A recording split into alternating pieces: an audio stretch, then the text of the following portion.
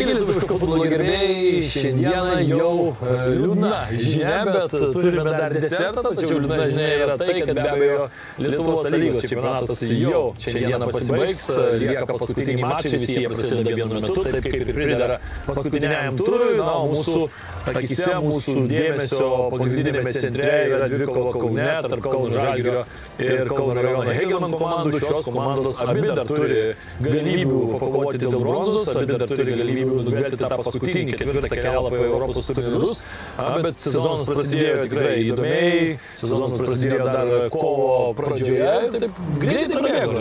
Tikrai greitai atrodo, kai prasideda, tai atrodo, čia skaičiuoja dabar pirmi turai, po to pirmas ratas, po to antras ratas, tai greitai prasideda, bet kas labai gerai, tai taip, pradėti kelių liūdna, liūdna, na ta, bet kas yra labai gerai, kad na, dabar netenka kalbėti apie tai, kad na jau šios rungtynės nieko nelėmė.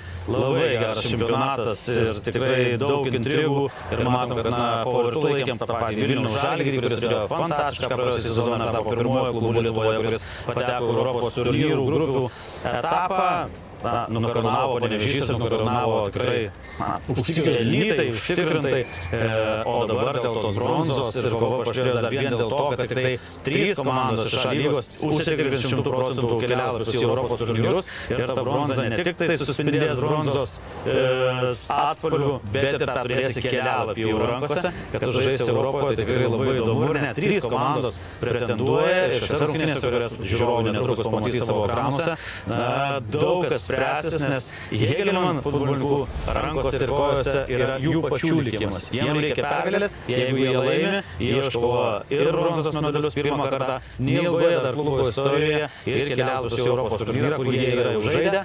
Tuo pačiu Kauno Žalgiris, ne tik kad jiems principinė tokia dvikovė, dėl to na, tik neseniai Hegelman perėjo klubas į Kauno rajoną, pavadinkim taip formaliai, bet ir tokia būdavo Kauno derbis, savo laikinosios sostinės derbis visą laiką pasižymėdavo kieta kova ir visą laiką dar čia žiūrėdami šias rungtynes, visą laiką turėsim žiūrėti ir į kitus stadionus, kas vyksta, nes tie patys šiauliai irgi pretenduoja laimėti bronzos medalius ir kelialapį į Europą. Tai tikrai na, superinis finišas A lygos čempionato ir netgi ne tik čia žiūrėsim, kas dėl bronzos, bet ir žiūrėsim, kas išliks A lygoje. Tai irgi vyks tokia neakivaizdinė dvikova. Taip, dėl pirmų dviejų pozicijų ten jau intrigos nėra, panevežys čempionai, Žalgiris šiemet vicečempionai, teko užleisti tą sostą, taip, kaip ir kalbėjai, riteriai dar turi galimybės, aišku, jos yra pakankamai sudėtingos, riteriams patiems reikia laimėti mačą ir tuomet Marijampolė, kur irgi Marijampolė žaidžia, na, ne šiaip kažkokią pasivaikščiojimo rungtynės, jiems irgi tos rungtynės dar gali padėti užimti aukštesnę poziciją, o kasgi nenori čempionatą pabaigti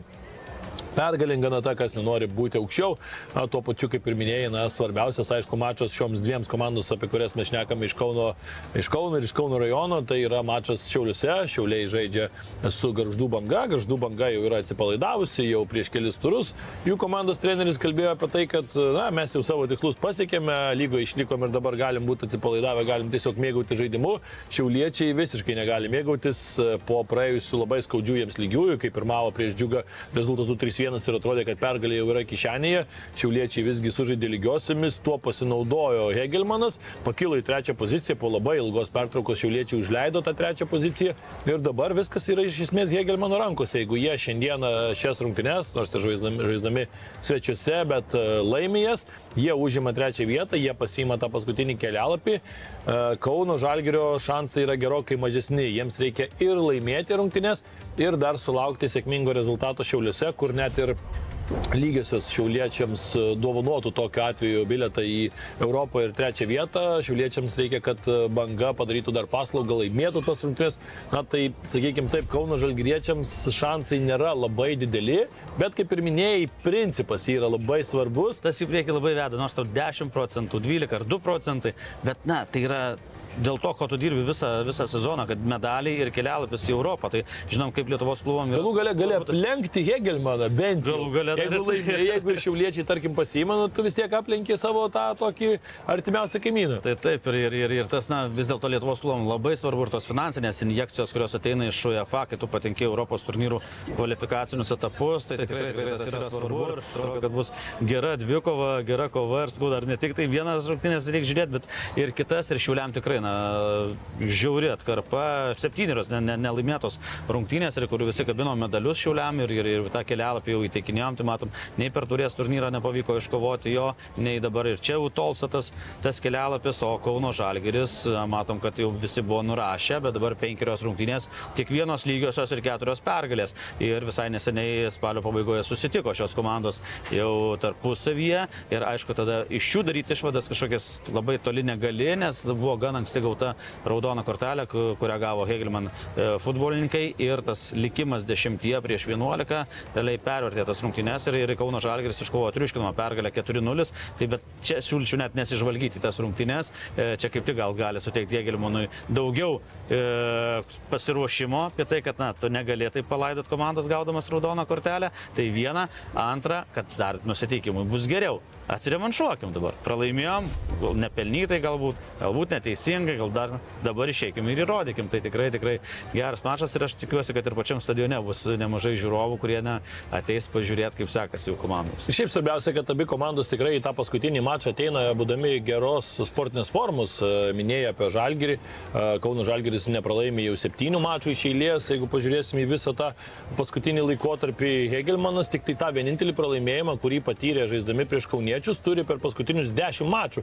Tai, na, irgi parodo tikrai įspūdingą šios komandos sportinę formą, šešios pergalės, e, trejos lygiosios, e, vienas pralaimėjimas, tikrai taškų kraitis yra nemažas ir tas finišas geras būtent ir suteikė jiems šansus. Atrodo, vienu metu jau Šiauliečiai buvo taip pabėgę, kad, na, lyg ir atrodė, kad komanda nelabai galėtų motivuoti save ir tada teko girdėti ne kartą, kai Andrius Kerla ir kalbėjo apie tai, kad reikia bandyti dar vis išlikti kovoje, nes futbolas yra labai toks, sakykime, nenuspėjamas, ta pati, tas pats Nerius Mačiulis, naujasis Kauno Žalgirio treneris, kuris vadovauja tik tai, čia bus jam šeštas mačas, bet jam irgi labai gera atkarpa, vieneris lygisis, kaip ir minėjai, jeigu pabaigs čempionatą pergalę, kas žino, galbūt e, su šiuo treneriu ir liks toliau Kauno Žalgiris. Gal nelaikinasis bus taip, treneris, taip, jau, nieko negali žinoti. Kontraktas bus pasiūlytas, taip, tai labai svarbu, nes, na, esi dabar, jeigu Mačiulis iškovoja kelialapį į Europos turnyrą, tai kaip dabar klubo vadovams pažiūrėti jam į akis ir sakyti, tu liksi asistentų toliau? tai čia skau labai labai daug dedamųjų, kas daro labai intriguojantį šį susitikimą ir tikrai, man atrodo, kad bus be kompromisė kova. Dar net vienas aspektas toks yra, kad, na, e, kova vyksta iki paskutinio turo dėl rezultatyviausio A lygos žaidėjo titulo ir e, Vilnių Žalgirio lyderis Matės Ajovus jisai na, jau nemuša labai ilgai ir 19 įvarčių tiesiog grafa kaip liko, taip ir liko. Užtrigė. Ir Dangubičius atsilieka tik vienu įvarčiu. Hegelmanų reikia laimėti, Dangubičių reikia mušti bent du įvarčius. Tai manau, kad bus rezultatyvos rungtynės. Aišku, visi stengsis nepraleisti pirmiausia, bet manau, kad bus ir daug atakuojančio futbolo. Na, Kauno Darius ir Girienų stadionas tikrai karščiausia vieta šiandien yra Lietuvos futbole. Na, kaip ir minėjau, jau paskutinė mūsų laida šį sezoną, bet, kaip sakant, futbolas e, vis dar džiugins mūsų akis. Netrukus ir rinktinių kovos dar prasitęs, tai dar tikrai turėsim daug gražaus futbolo. Gražaus futbolo jums šią sekmadienio popietę. Iki.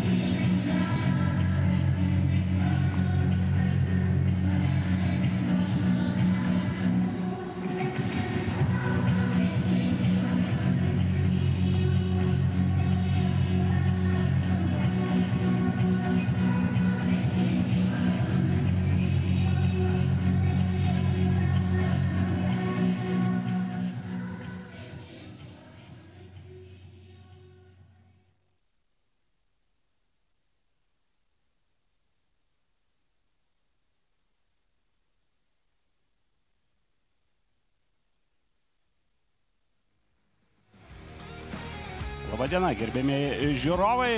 Na, o Tibet A lyga jau finišuoja, atrodo, taip nesiniai, kaip ir sakė kolegos, dar tik kalbėjom apie lygos startą, apie pirmuosius susitikimus, žiūrėjom, kurios komandos pateisina viltis, kurios ne, o jau, jau lapkričio 12 diena ir 36 turas, turas kuriame įsispręs daug kas. Tiesa, aiškus, jau čempionai, aiški komanda, kuri e, laimėjo Sidabro e, medalius, nežinau, ar tinka šitoj vietoj e, sakyti laimėjo, nes be abejo Vilniaus Žalgirio e, tikslai buvo kiti. Na, bet e, nežinomųjų dar daug. Ir be ne vienas, vienas iš svarbiausių nežinomųjų, kasgi užims trečią vietą, laimės bronzos medalius ir kartu kartu kelialapį į kitų metų Europos e, taurės e, turnyrą. Matote prieš savo akis turnyrinę lentelę. Kol kas treti Hegelman atstovai, bet matėte turbūt ir situaciją kokia yra lentelė. Hegelman, Hegelman turi lygiai taškų kaip ir futbolo akademija Šiauliai, o trim taškais atsilieka šiandieniniai Hegelman ekipos varžovai Kauno rajono E, Kauno e, Žalgiris. E, būtent Kauno Žalgiris yra šių rungtynių šeimininkai ir iš esmės visos šios trys komandos turi vienokius ar kitokius šansus, vienokias ar kitokias galimybės tapti tretiem ir tai be abejo jų tikslas. Aišku, jeigu taip pažvelgus į galimybės, vis tik tai Hegelina ir Šiauliai yra realiausia, realiausi pretendentai, tačiau Kauno Žalgeris, jeigu dar prieš mėnesį, prieš E, pusantro mes e, nepasakytume, kad e, Kauno Žalgiris gali pretenduoti į trečią vietą, tačiau dabar tos galimybės atsirado. Abi šios komandos gerai žaidžia pastaruoju metu, skina daugiausia pergalės, retkarčiai sužaidžia lygiosinis, na aišku, buvo vienas sutikimas, kuris įskirtinis, Būtent šios komandos žaidė atidėtas rungtynes prieš dviejas savaitės šiame pačiame stadione ir E, tas rungtynes Kauno Žalgiris laimėjo užtikrintai 4-0, tačiau e, kartais futbole būna, kad e, skaičiai švieslinkė kiek apgaulingi. Tai ir kalbant apie tas rungtynes, ką irgi minėjo kolegos, kad ten labai daug turėjo įtakos ir Hegelman ekipos žaidėjo pašalinimas. Na, bet pažiūrėsime, kaip viskas klostysis šiandien, šiandien komandos nusteikia kovingai, o dabar paklausykime, ką kalbėjo prieš rungtynės treneriai. Treneri, susikūrėte su komanda šansą šiandien iškovoti tą trečiąją vietą. Ar labai seksit rungtynės Šiauliuose ir kokių rungtynių galime tikėtis mes, visi žiūrovai? E, koncentruosimės tik tai čia ir kas vyksta aikštelė, nesidarysim į nieko. E, ir paskutinės varžybos, kurias reikia užbaigti ir finišuoti. Ačiū treneri lygiai prieš metus beveik irgi buvo paskutinės rungtynės šūkis viskas arba nieko šiais metais situacija kartojasi. Galbūt yra kokios pamokos ką išmokote iš praėjusių metų ir bandysite perteikti šiandien savo komandai? Na be abejo, turime patirties praeitų metų irgi čia nesenai galvojau, kad e, viskas kaip ir kartojasi, aišku, norėtųsi, kad ta pabaiga būtų kitokia. Bet e, ką noriu pasakyti, kad e, sezono viduryje mes negalėjom, negalėjom pagalvoti, kad į tokią, e, į paskutinės rungtynės ateisime būtent e, tokie, kad e, viskas priklausys nuo mūsų. Tai belieka tik tai žiūrėti rungtynės na, ir mėgautis tuo, kas bus aikštėje, tikiuosi. Ačiū. Na, girdėjom, ką kalbėjo treneriai prieš rungtynės. Na ir šiandien aš šias rungtynės komentuoju ne vieną, šalia manęs yra žmogus, kuris turbūt vienas iš labiausiai besidominčių Lietuvos, opti, Lietuvos futbolu, OptiBeta lyga ir tai be abejo logiška, nes tai yra Lietuvos nacionalinės rinktinės treneris Edgaras Jankauskas. Labadiena, Edgarai. Labadiena, Naglė. Taigi, Edgarai, na, minėjau Andrius Skerla, kad antri metai iš eilės toks finišas, kur gali laimėti, gali būti, kaip sakoma, ant žirgo arba gali, gali labai kažko stipriai netekti. Na ir kaip pačiam šis sezonas ir toks finišas. Aš manau, kad tai ir daro šitą čempionatą įdomiu, žaviu iki pančių paskutinių akimirkų, kada tos stygos yra maksimaliai įtemptos ir kaip e, pats minėjai, trys komandos turi galbūt ne vienodas galimybės, bet e, teorinės galimybės ir praktinės galimybės tapti trečios vietos laimėtojų ir manau, kad tai reiškia, tai parodo mūsų čempionato konkurencingumą. Ir e, bus labai įdomu stebėti šitas rungtynės. E, kaip sakant, Kauno Žalgeris galbūt po tokios sunkesnės fazės čempionate vėl atgyjo ir iki paskutinės rungtynių turi galimybę E, pakilti į tą, tą aukščiausią vietą, įmanomą aukščiausią vietą. Na, o Hegelmanai, ko gero, yra geriausiai pozicijų, nes patys yra savo, kaip sakant, šeimininkai situacijos, jiems reikia laimėti šitas rungtynės ir medaliai bus jūsų. Jų. Na taip, e, minėjom, kad e, Šiauliai gana ilgą laiką buvo tokiai tvirtoje trečioje vietoje, na bet e, komanda pradėjo, pradėjo barstyti taškus. Na, pačio karjeroje žaidėjo, trenerio buvę kažkokių panašių situacijų, kaip jas reaguoti ir, ir ne visada aišku ir pavyksta iš, iš, iš, iš tos balos išlipti. E, tikrai tas kritimas buvo e, gan e, akivaizdus ir ženklus. Jeigu komanda nesugeba pasiekti pergalę septynės rungtynės iš eilės, tai jau tai jau e, byloja apie kažkokias rimtas e, problemas komandai, tai gali būti surišta ir su, su traumomis, kas e, ir, manau, buvo viena iš pagrindinių priežasčių Šiaulių kolektyvė, nes žaidėjai, kurių neteko klubas dėl, dėl traumų, jie tikrai buvo svarbios figūros komandai. Aišku, tai taurės finalo pralaimėjimas taip pat turėjo kažkokį psichologinį smūgį ir, na, Taip, tos, tas futbolas toks jau yra. Atrodo, kad e, žiūrint į pirmus du ratus, Šiaulių komanda galbūt buvo reali pretendentė ir į čempionų titulus, o dabar netgi jų likimas nepriklauso nuo jų pačių. Na, bet galbūt e, Šiauliai pasistengė, kad mums būtų įdomesnis finišas, nes jeigu jau šios rungtynės le, e, nelemtų, galbūt netaip būtų įdomu žiūrėti. Komandos jau aikštėje ir matėme rungtynių arbitrus. Aišku, E, yra geras posakis, kad geriausias, e, geriausi teisėjai yra tie, e, kurie nematome aikštėje, tačiau juos paminėti vis tik tai vertėtų. Taigi šioms rungtynėms teisėjo aikštės teisėjas Donatas Šimėnas iš Vilniaus, jam padeda teisėjai asistentai Laurinas Aržolaitis bei Aldas Kartašovas. Ketvirtasis teisėjas Orestas Abramavičius. Na, ketvirtasis teisėjas paprastai turi daug reikalų ir daug pokalbių bei kontaktų su komandų techninėmis zonomis, su komandų trenerių štabais. Na ir šiuose rungtynėse, kaip jau uh, neseniai startavusi Lietuvoje VAR sistema, ir šiuose rungtynėse taip pat yra VAR sistema, teisėjas, uh, VAR teisėjas yra Donatas Rumšas. Uh, neseniai kaip tik nuskambėjęs Europoje. Na ir e, jam padės Aleksandras e, Radiušas. E, rungtinių inspektorius Nerijus Dunauskas, o mes matome savo ekranuose komandų kapitonus Martinas Dabkus, Klaudijus Upstas. Abu du lietuviai, abu du tokio daugiau gynybinio plano žaidėjai. Na ir Edgarai dar atkreipė dėmesį, jau mačiau ir Sirgaliai rašo, kad Kauno Žalgirį, ypač kalbant apie Kauno Žalgirį, kuomet už komandos vairo stojo galbūt netgi Nenerijus Mačiulis, bet, e, bet e, Marius Sankevičius, tai pradėjau daugiau pasitikėti, na nežinau, kaip gal neteisingai vartinti, pasitikėti lietuviais, bet tiesiog sudė, startinėje sudėtėje pasirodė, pradėjo rodytis daugiau žaidėjų iš Lietuvos ir šiandien startinėje sudėtėje aštuoni yra lietuviai ir kai kurie iš jų jau, kiek žinau, jau sulaukė kvietimų į Lietuvos e, rinktinę. Na ir kaip tau tokia tendencija? E, iškart pasakau, kad Hegelman, Hegelman ekipoje keturi yra lietuviai. Taip. Mane labai džiugina matyti e, kuo daugiau lietuvių startinėje sudėtyje ir, ir žiūrint į, į jų pavardės, tai aš pasakysiu, kad visi iš jų yra potencialūs kandidatai į Lietuvos rinktinę.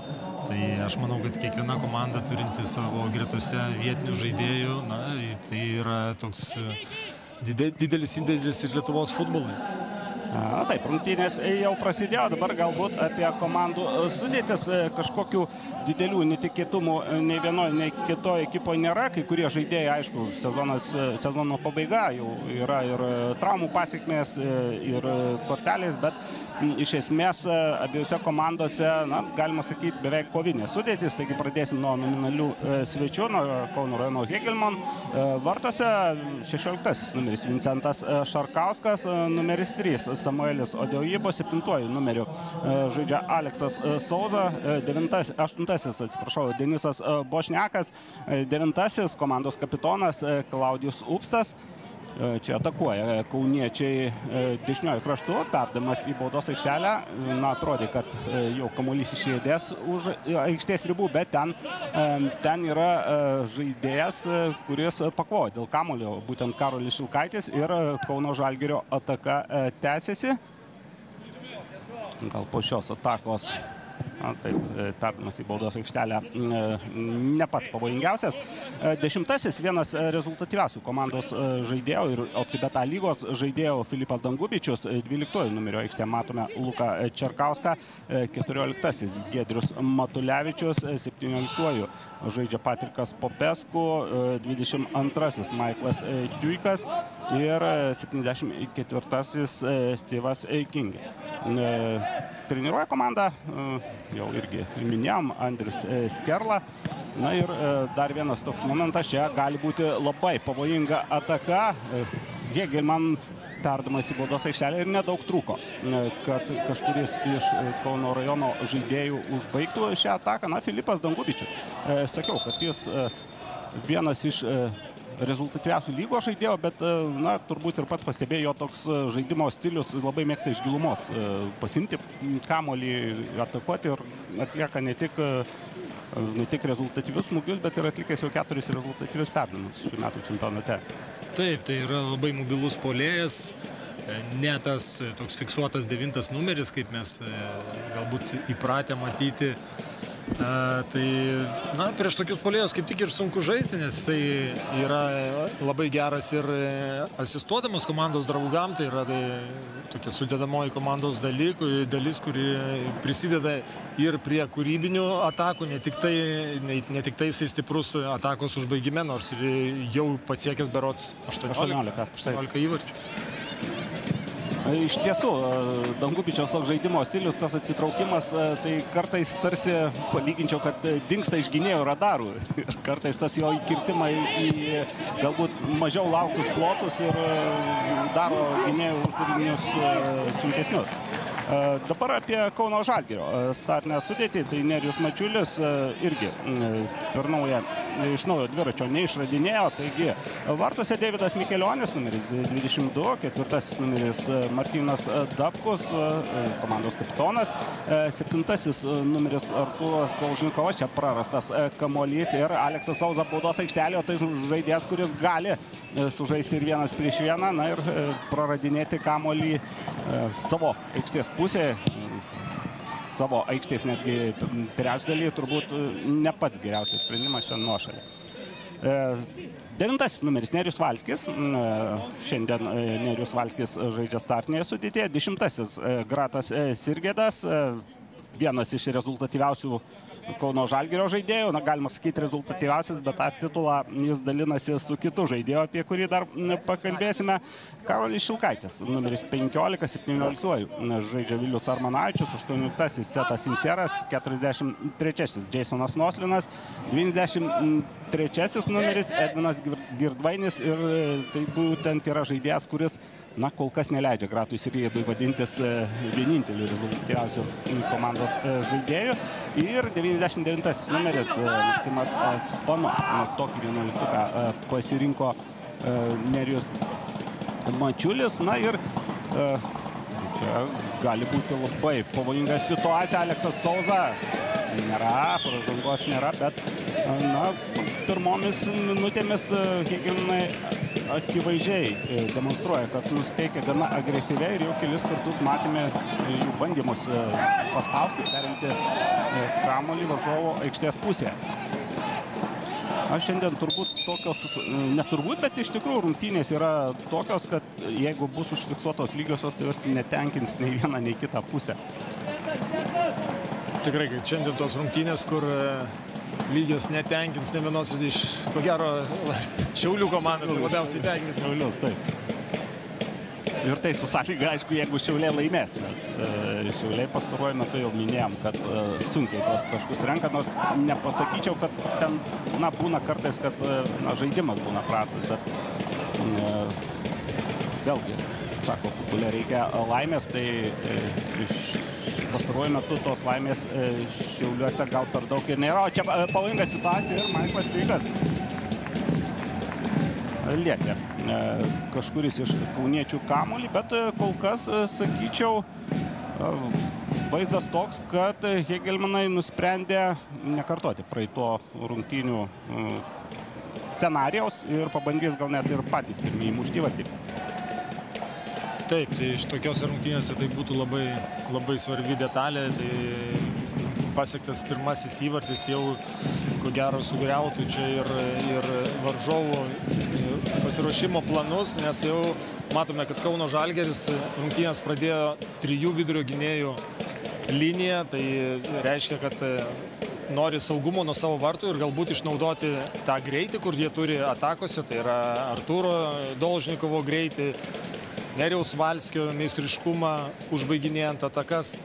Ir Vilius Armanavičius yra puikioje formai, bet turbūt svarbiausia šiose rungtynėse pradžioje neprasileisti įvarčio. Taip, nes būtent tas labai keičia rungtynės ir aišku, jeigu jau sakėm, kad abiem komandom reikalinga pergalė, tai laimėti, kuomet yra lygus rezultatas ir laimėti, kuomet atsilieki jau vienu įvarčiu, yra du skirtingi dalykai.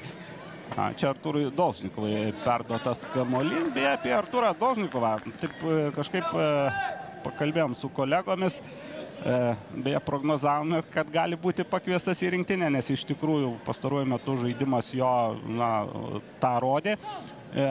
Du tokie skirtingi lapkričiai. Jeigu prisiminkime pernai lapkritį, lapkričio mėnesį būtent pasirodė žinia, kad Arturas Dolžnikovas palieka riterius ten dėl tam tikrų priežasčių, o šiemet lapkritis visai kitoks. Tai turbūt džiugina tokie dalykai. Tikrai taip ir man buvo pačiam labai gerai, labai įdomu stebėti jo, jo tą karjeros kreivę, kadangi man teko su juo dirbti Riterių klube ir aš žinau e, apie jo stip, stipres savybės, apie jo talentą. Na, tuo pačiu žinau ir apie tą, sakykime taip, švelniai tamsę pusę ir tą emocinę, emocinį kontrolę, kur, kur reikėtų stipriai Artūrui padirbėti, bet aš manau, jisai jau savo klaidas yra padaręs. Iš to ir ne vieną turbūt klaidą. Tai manyčiau, kad ir išvadas yra pasidaręs. Aš su juo ir turėjau keletą pokalbių bet mes negalim užsimerkti į tas jo gerasias savybės, nes tikrai jis yra toks ne, ne, neįprastas žaidėjas, kuris gali nustebinti ir žiūrovus, ir net pat, patį save, aš turiu omeny apie, apie tos reikalus, kuriuos jisai gali padaryti aikštėje. Tai yra išskirtinės greičio savybės, driblingas, originalūs sprendimai mažose plotose, taip pat tai kirtimai į erdves, ko mums labiausiai žaidžiant europiniam lygyje reikia. Tai yra, tai yra greičio, tai yra išėjimas į ataką ir, ir Artūras šitas, šitas savybės turi. Tai mes manome, kad tai būtų tik gera paspirtis ir Lietuvos rinktinė, jeigu mes teisingai išnaudotume jo potencialą.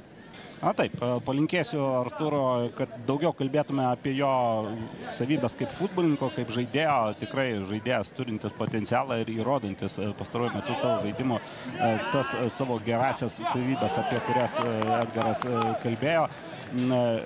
Kita vertus, vėlgi, pažiūrint iš kitos pusės, na, būna žaidėjų įvairių momentų, karjeros kartais klostosi geriau, kartais ten galbūt, na, pavyzdžiui, Viliaus Armanavičius išvažiavo, nepavyko užsikabinti gal, bet jis grįžo į Kauno Žalgį ir tos ir Arturo Dolžnikovo pavyzdys ir, ir, ir Vilius pastaruoju metu irgi demonstruoja neblogą formą, tarsi ir sako, kad, na, karjeroje gali būti visko, gali būti pakilimų, gali duobių, bet niekam kelias, sakykime, kad ir į nacionalinę rinktinę nėra uždaryta.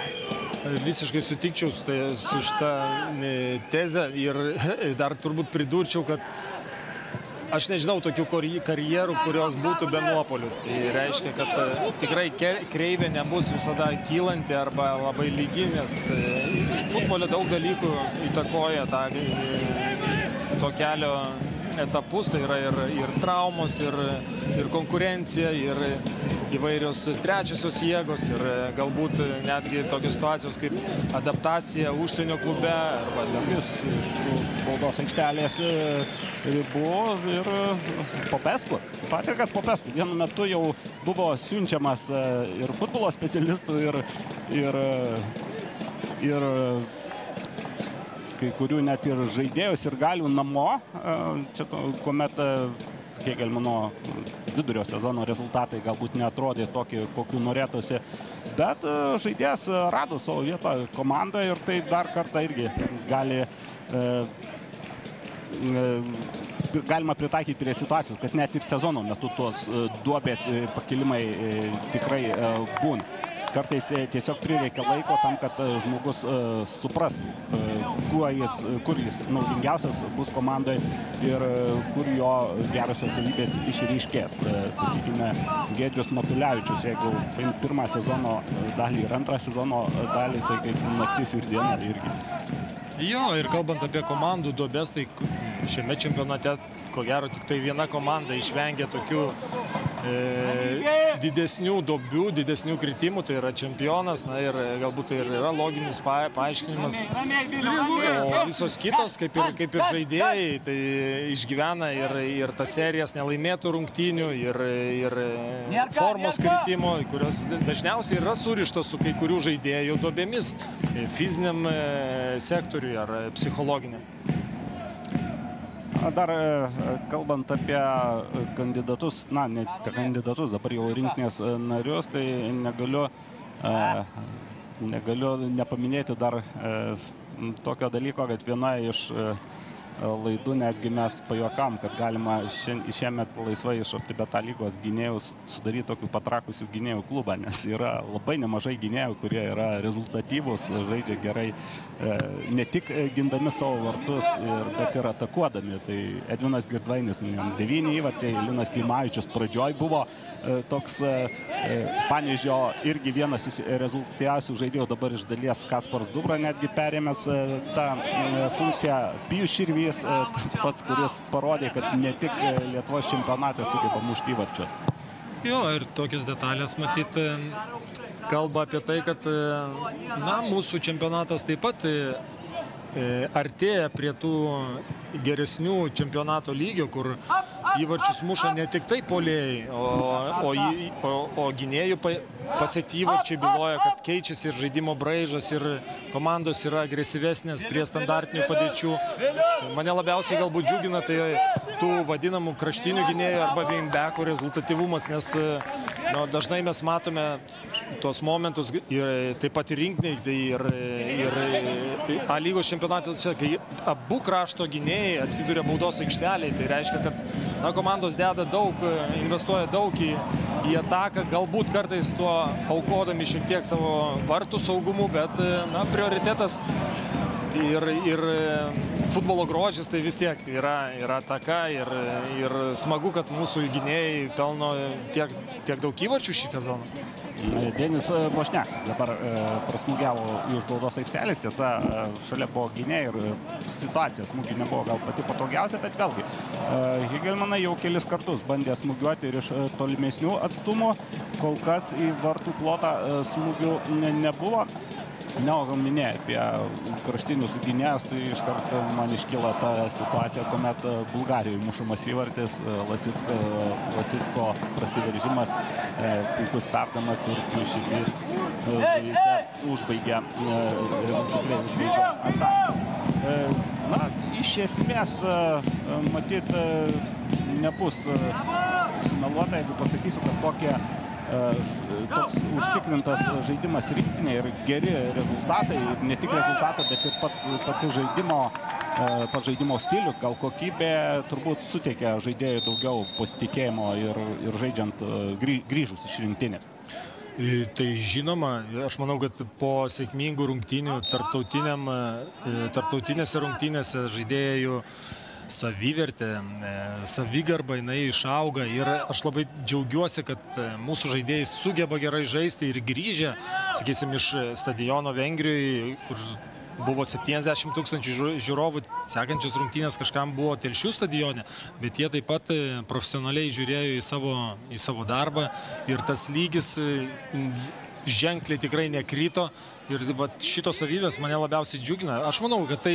surišta su žaidėjų norų tobulėjimu, su jų žinojimu apie konkurenciją, nes vėlgi, kai matai e, Lietuvos komandas, kurių sudėtyse yra aštuoni lietuviai, šeši lietuviai, na žaidėjai vis tiek kažkur tai pasąmonė jaučia, kad ta konkurencija yra, kad e, kitose, žaidėjai, e, kitose komandose tose pozicijose taip pat žaidžia lietuviai. Ir aš manau, kad tai yra viena iš e, tokių varomųjų jėgų, kad e, lygis nekristų, nesvarbu, ar tu žaidži Garžduose, ar tu žaidži Belgrade. Na taip, e, kartais tie e, kontrastai būna ryškus, bet kita vertus, e, štai turime dabar paskutinį turą, Tibeta lygos. Aš prisimenu mano laikais, kokiuose aikštėse vykdavo paskutiniai turai, tai e, nėra ką lyginti. Kartais gal mes e, per mažai pasidžiaugiam tuo, e, ką, nu gal net tiek daug, kiek norėtume turim, bet jau po truputį, po truputį turim. E, na ir dar e, kalbant apie e, rinktinę, vis tiek e, tą temą šiuose rungtynėse e, paliesime dar e, ne kartą. E, Aš kažkaip vis laik galvodavau, kad e, e, mūsų rinktinė, na čia jau per daugelį metų, galbūt e, turi šiokią tokią skolą prieš žiūrovus, kadangi žiūrovai vis tiek eidavo, tikėdavo, palaikydavo, tie rezultatai nu, nebūdavo tokie, kokių mes galbūt visi norime.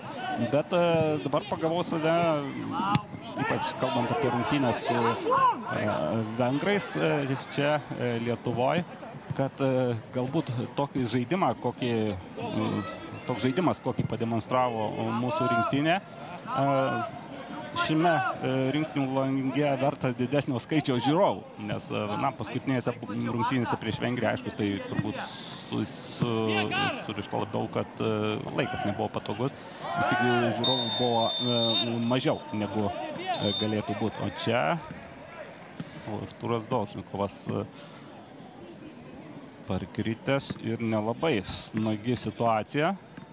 Aišku, reikia pasakyti, kad na, kol kas e, pakankamai nėra grubus futbolas, čia toks aiškus skaudus e, smūgis, bet e, liktai viskas tvarkoja, jau Arturas atsistojęs. Na ir palauksim, kol Gratas irgi tas atliks standartinę situaciją. Ir dar truputį paliesim dar vieną aspektą. Labai aukštai skiria kamuolys ir Vincentas Šarkaskas jį gaudo. A, a, Na jau nuskambėjo, kai Arturas Dolšinkovas buvo, buvo pakviestas į rinktinę, jau nuskambėjo klausimas, tai jau gal jau žinot, kad ar jie gyvens vienam kambarį su Danieliu Romanovskiu ar net, ar, ar dar neskirsite.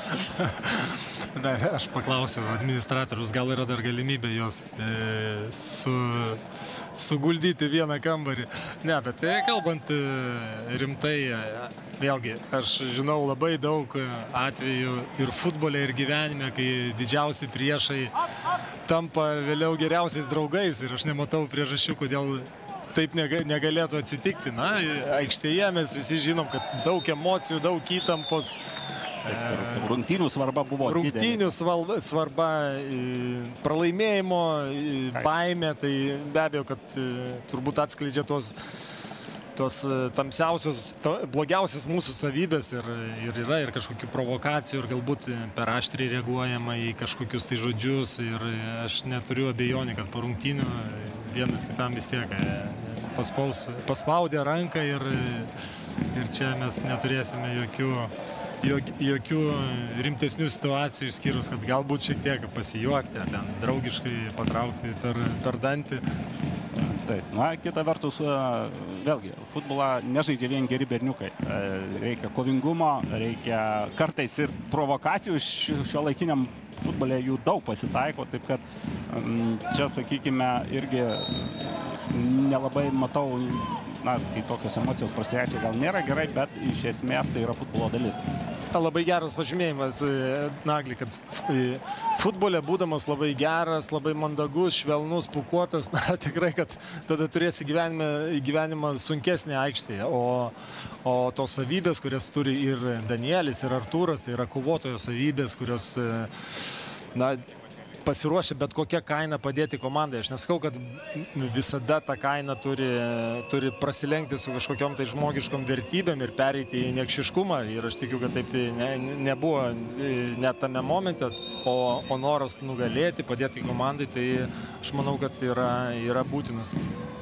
Dar vienas kampinis prie Kauno Žalgirio vartų, vėl Filipas Dangubičius prie Kamulio, o baudos aikštelė e, nemažai. Žaidėjo šį kartą bandė taip e, užklupti, galbūt netikėtai e, Kauno Žalgirio e, komanda. Įžaidinėjo su Maiklu Tuiku Filipas Dangubičius e, Kamulį, bet e, tam e, buvo, galima sakyti, buvo pasiruošę Kauno Žalgirio ekipo žaidėjai, nes be abejo, na, kaip ir kiekviena komanda identifikuoja pavojingiausius e, žaidėjus ir žino, ką gali Dangubičius juo labiau žino, ką gali Maiklas Tuikas. Priminsiu, Maiklas Tuikas pernai metais dar vilkėjo Kauno Žalgirio marškinėlį. Čia Edvinas Girdvainis. Sužaidė užtikrintai.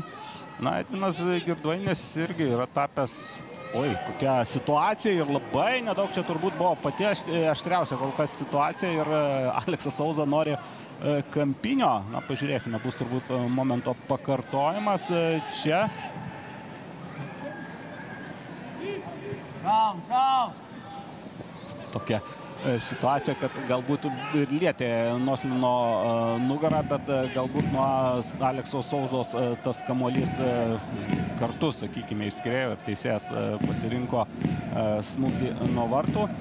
Šiek tiek aktyvesni Hegelman žaidėjai, bet Kauno Žalgis na, jaučiasi, kad yra komanda, kuri na, šiuose rungtynėse gali net kartais ir atiduoti šiek tiek iniciatyvą, bet turi Arturą Dožniko, jau mūsų minėtą Vilius Armanavičius irgi labai pastaruoju metu toks aštrus žaidėjas, kartais net atrodo, kad jis toliau būna nei Arturas Dolžnikovas įlindęs į puolimą. Na ir to užmiršti Hegelman ekipai negalima, tačiau taip kamulius praradinėti šeimininkai irgi neturėtų. Jo, ir tai vėlgi surišta su kamulio įžaidimu, kuris visada turi šiek tiek rizikos savyje, nes tie pirmi perdavimai, jeigu varžovų komanda pasiruošus aktyviam presingui, tai visada susidursi su sunkumais, bet praėjus tą pirmą presingo bangą jau gali kurti pilnaverčią ataką, bet praradus kamulį mes matome, kad tai iš karto yra kampinis į, į savo vartus. Dar vienas perdamas ir dabar po pesku. Gerai įžaista, taip. A, tokį įvartį, man atrodo, mes jau matėm šiame. Vilius Šiauliuose, man atrodo, panašiai. Taip, Vilius Armanavičius. Taip, baudos aikštelės susilentavo. Na, įdomus, tokie ir žaidimai, sakykime, ką ir pastebėjai, buvo dabar, aišku, jau čia paskutinė atakos stadija, bet tas pirmas labai įdomus perdamas, kai nubėgo daugumą žaidėjų ten į baudos aikštelės vidurį, o 17 berots numeris Patrikas Popesko toks futzalo stilium kartais oro paduoda kamuolį ir muša iš oro, tai bandė atlikti. Jo, matosi, kad Hegelman komanda per savaitę tikrai paruošė namų darbų. Na, darbštus. Nežinau, kaip mokykloje buvo su trenerių štabo narės, aš įtariu, kad jie mokykloje mažiau ruoždavo namų darbų negu dabar dirbdami. Na, bet čia toks, tokia trenerių darbo druska. Tiesą sakant, rinktinės štabe taip pat tas darbas vyksta, kiek žinau, Na, teko būti tuomet, kai dar pirmą kartą buvote už nacionalinės rinktinės vairo, teko būti išvykose ir atkreipiau dėmesį, kad man atrodė, kad trenerių štabo kai kurie nariai iš vis nemiega. Ar dabar taip pat? Tikrai, kad mažiau miega už mane ir, ir yra labai darbštus, kartais mane net stebina ir aš dažnai sakau asistentam, kad labai... Oi, oi, Karolis Šilkaitis! Karolis Šilkaitis pasižymėjau ir pats buvau nustebęs prieš e, šias rungtynes, pažiūrėjęs į statistiką, kad Karolis Šilkaitis šiame sezone nebuvo įmušęs nei vieno įvarčio ir nebuvo atlikęs nei vieno rezultatyvaus perdavimo. Matyt, Karolis laukia 36 turo, na ir puikus epizodas, matysime, e, matysime jo pakartojimą ir Kauno Žalgis įsiveržė į priekį nors e, yra čia VAR sistema, na bet čia čia jokio e, negali būti e, taisyklių pažeidimo, net nekvepia, na tiesiog e, puikus smūgis ir reiškia kairę koją, ne pačia stipriausia savo koją ir dar kaip reaguoja atsarginių žaidėjų solelis. Karolis Šilkaitis siunčia kamolį į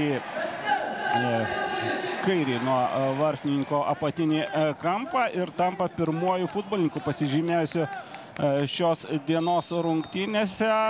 Na, Hegelman smūgiavo daugiau, bandė ne vieną kartą smūgiuoti iš už baudos aikštelės ribų, o Kauno Žalgiris turbūt tokį pirmą smūgį padarė ir štai toks, štai toks posūkis.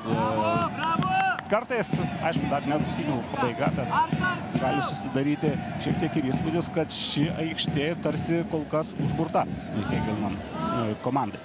Na, bet jeigu mes atsimintume visai nesenai žaista iš šių komandų derbi, taip pat Kauno Žalgeris pirmybų išė įvartį, bet paskui kažkodėl taip rado iniciatyvą ir, ir iki kėlinio galo Hegelman tikrai buvo geresnė komanda ir iki tos nelemtos raudonos kortelės, kuri jau sugriovė visišką komandos tikėjimą ir paskui antram kėlinį Žalgeris dar dar damušė tris įvarčius, bet iki raudonos kortelės Hegelman komanda tikrai geriau atrodė aikštėje, kūrė momentus ir atrodė, kad laiko klausimus, kada išlygins rezultatą. Mm. Na, taip, futbolas būna toks uh, kartais gal ir uh, logiškas, nu, nelogiškas, sakykime. Bet uh, laiko tikrai dar yra, 28 minutė. Kauno Žalgiris veržėsi į priekį, o aišku, kadangi šios dienos rungtynės, kaip nepataikė Monozlius ir kaip reaguoja į smūgį Davidas Mikelionės. Na, čia situacija, kuomet vartininkas taiso gynėjo klaidą. Dar kartą žiūrim, na, tiesiog neapskaičiavo, net ir smūgį, smūgio judesį galva atliko. Puikus refleksai. Taip.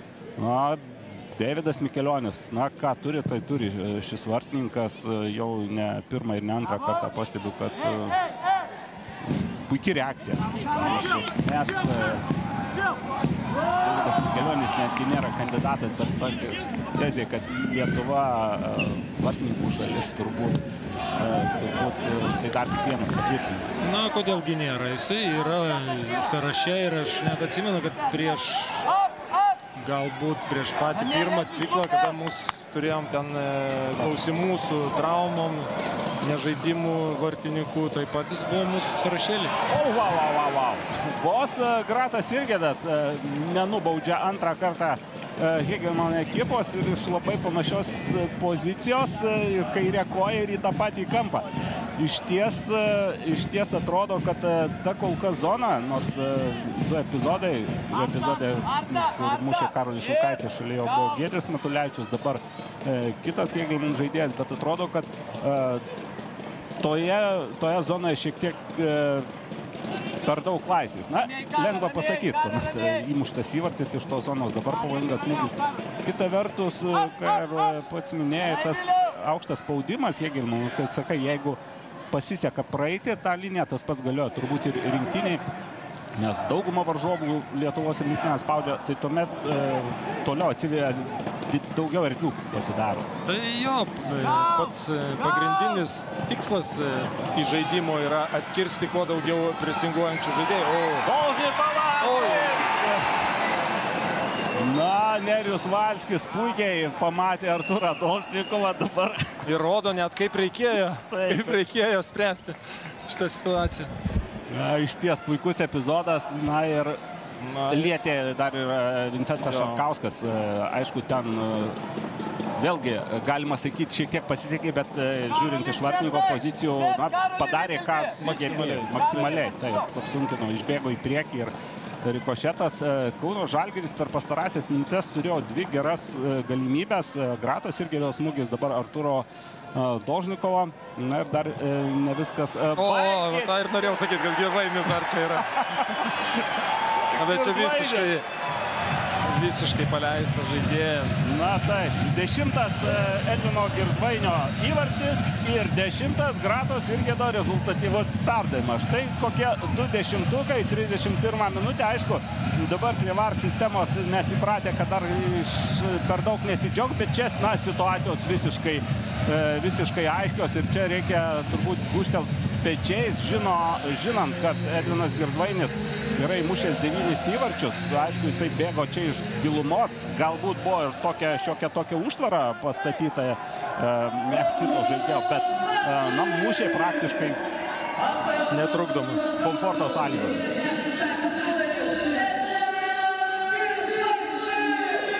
Edvinas Girdvainis. Muša antrą įvartį ir tai yra labai rimta ir niekur nedingsi, žvilgtelim, kas vyksta kitose stadionuose. Na, pirmiausia, žvilgsnis į Šiaulius, ten kol kas 0-0. Tai jeigu, jeigu rungtynės taip baigėsi kaip... Ai, jau Šiauliai pirmauja 1-0. Neatsinaujinau informacijos. E, taigi, Šiaulių stadione jau kažkokia bronzinė pašvaistė gal, galbūt matosi, bet e, dar ne viskas e, sužaista, aišku, dar tik 30 minučių, 30 kelios minutės, e, sakykime, trečdalį žaidybinio laiko, bet aišku, tas dviejų įvarčių atstumas tokiuose rungtynėse yra labai didelis. Na, Na ir dviejų, dviejų įvarčių Hegelmanui neužtenka netgi? Netgi neužtenka, taip. Ir dabar mušti reikia tris, mušti, kas iš vis.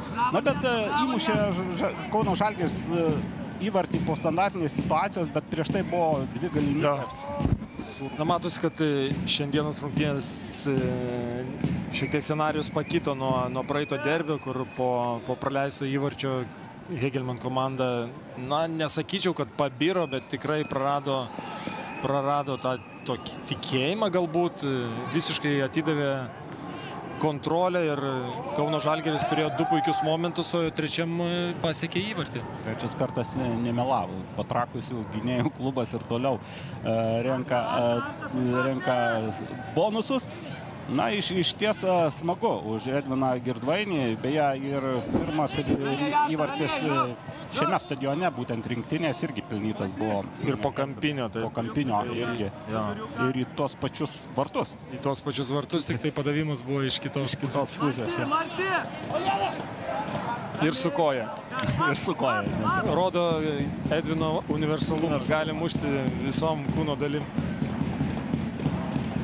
Na, iš ties.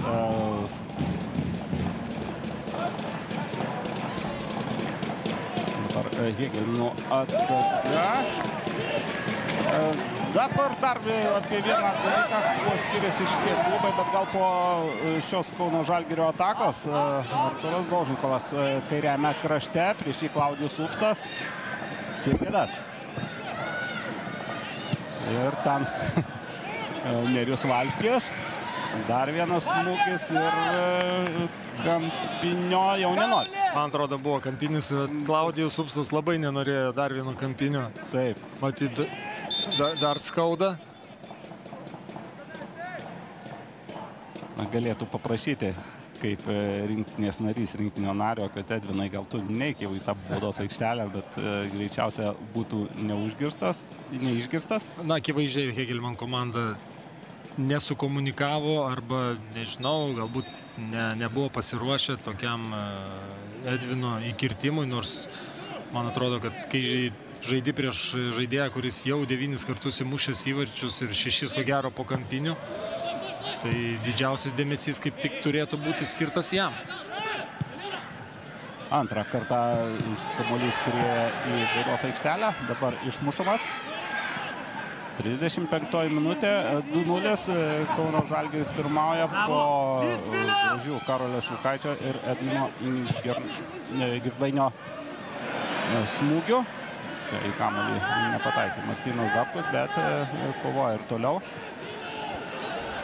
E, Na, ką norėjau sakyti apie komandų dar skirtumus, tai Hegeliną viso sezono metu treniruoja, jau ne pirmo sezono metu treniruoja Andrius Kerla, o e, kaip žinome, e, Kauno Žalgirio e, du strategai e, pasikeitė Roką Garastą, pakeitė Marius Tankievičius, o dabar komandai e, vadovauja Nerijus Mačiulis. Ir gal daugam netikėtai, jau visi buvo kaip ir, nu ne visi, bet gal dauguma buvo jau e, liaudiškai tariant, peržegnoja Kauno Žalgirį, bet su Nerijum Mačiuliu puikus rezultatai.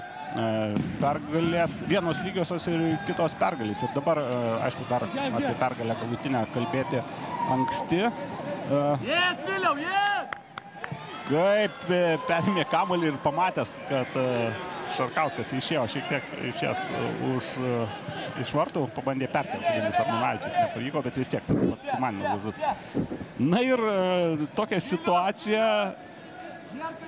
kaip tu pasielgtum Kauno Žalgirio vadovų vietoje? Aišku, čia sunku pasakyti, bet Na vėlgi, sunku galbūt komentuoti ir analizuoti, nežinant vidinės virtuvės, bet e, akivaizdu, kad, e, kad rezultatai pagerėjo ir jeigu paskaičiuotume taškus, e, kurio, kuriuos Kauno Žalgeris paėmė jau po antro trenerio keitimo, tai matyt, akivaizdu, kad arba tas lyderystės tipas komandai buvo labai priimtinas ir komanda sureagavo labai teigiamai, arba kažkokių kitokių priežasčių, aš nežinau, vėlgi, o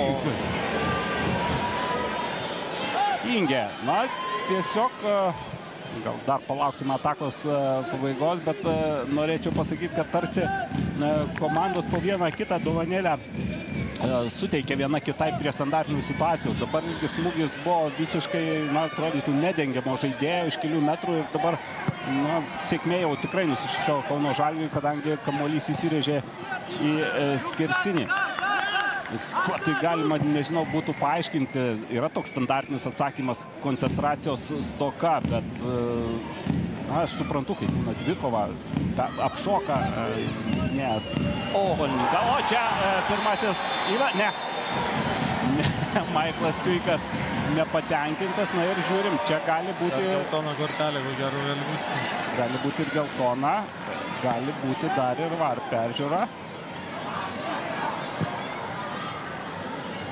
Aš netgi sakyčiau, čia nereikėtų kalbėti apie koncentracijos stoką, čia paprasčiausiai yra labai aukštas intensyvumas ir kai abi, galbūt čia, galbūt čia ir buvo nuošalė. Kai abi komandos dalyvauja ir atakoje, ir iš karto turi gintis, e, na, tai ir ko gero sukelia tą, tą aukštą pulsą ir grįžti iš karto po prarasto kamulio, tai irgi kainuoja daug ir yra daug judėjimo, kada, kada juda visi žaidėjai, na, paprasčiausiai viskas vyksta la- labai greitai, dalis sekundės ir, ir žaidėjai jau yra, ten, sakysim, 3 metrų atstumas atsiranda, tai sureaguoti į kiekvieną judesį yra tikrai sunku. Na, greičiausiai ir vyksta dabar pokalbis su VAR sistema. Na, iš to, ką matėme, tai panašu, aišku, kad Maiklui Tuikui ten nuošalės nebuvo, bet, bet Dangubičius berots atliko perdavimą. Tas perdavimas buvo toks ant nuošalės ribos. Pažiūrėsim, kiek laiko bus braižymas. Teks prisiminti. Braižybos. E, Braižybos, e, na, aišku, prisiminė, jokauju.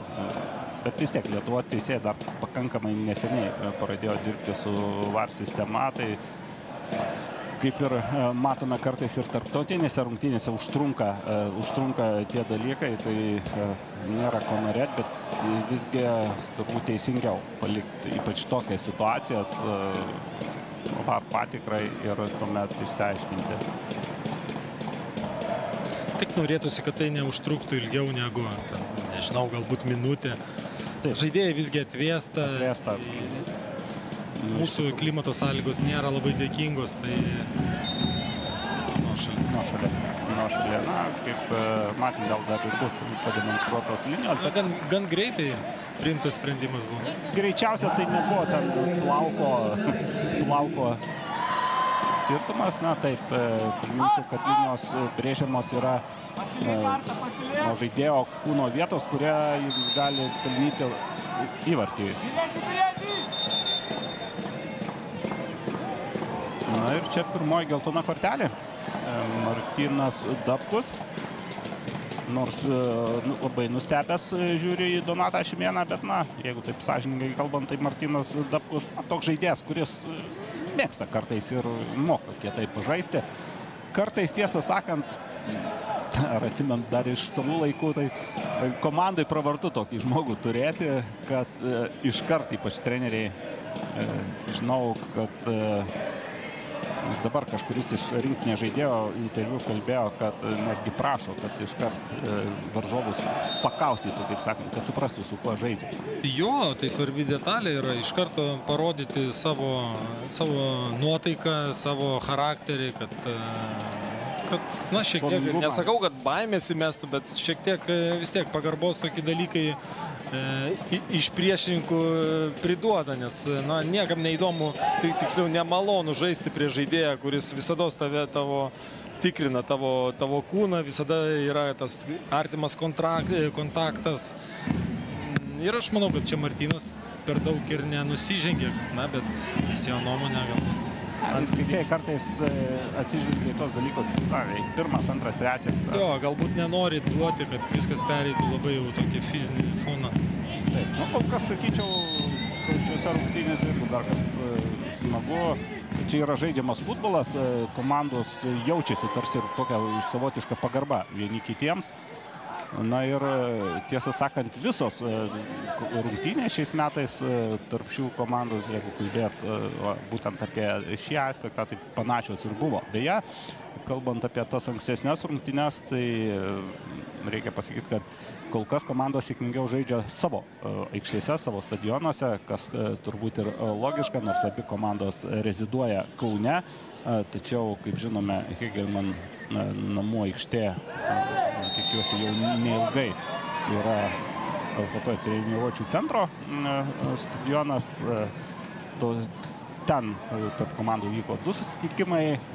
Viename, beje, Kauno Žalgiais pirmavo 2-0 ir pirmavo iki antro kelnio vidurio. Dar turėjo ir galimybių padaryti 3-0 rezultatų, bet, bet tos rungtynės baigėsi 2-3. Na, toks, sakyčiau, stebuklingas Hegelman išsigelbėjimas įvyko po to rungtynės, kurios turėjo įvykti vasarą čia Dariaus ir Girėno stadione buvo atidėtos, būtent dėl, supratau, dėl rinktinės ir dėl aikštės.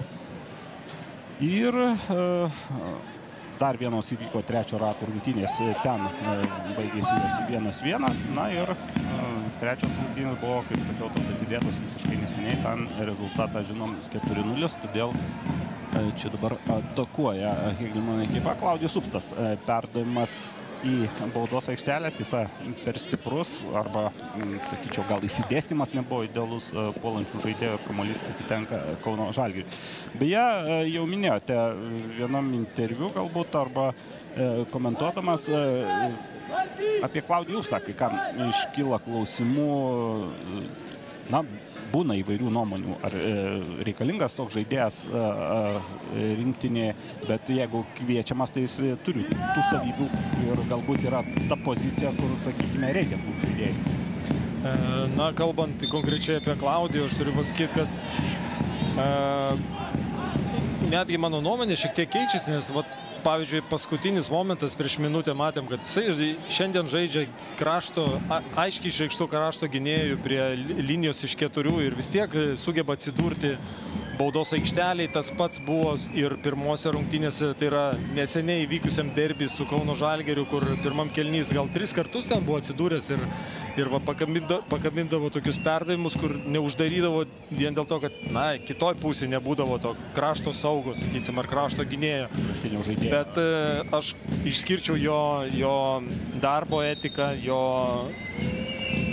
elgesi kolektyvę, pozityvumą, būnant netgi ant, e, ant suolo rungtynių metu, palaikymą komandos draugam ir Ir e, mes, aš žinau tiksliai, kad kada jo reikėtų aikštėje, tai galėtų būti ir krašto saugo, ar krašto gynėjo pozicijoje, jisai tikrai ne, sažiningai atliktų tą darbą. Tai yra toks žaidėjas, kai tu visi žinai, visada žinai, ko gali laukti. Jisai žemiau savo galimybių e, tikrai nesužais kažkokių super ekstravagantiškų driblingo e, fragmentų, elementų irgi galbūt nesulauksim, bet tai yra labai na, stabilus, e, profesionalus darbingas, sažiningas žaidėjas ir mum, mūsų vertybės kaip tik tokį profilį ir atitinka.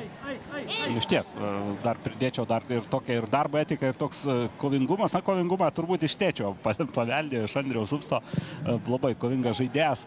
Tikrai Na, taip, man teko su jo tėčiu kaip tik teko. veisti kažkiek. Dabar Kauno Žalgirio ataka.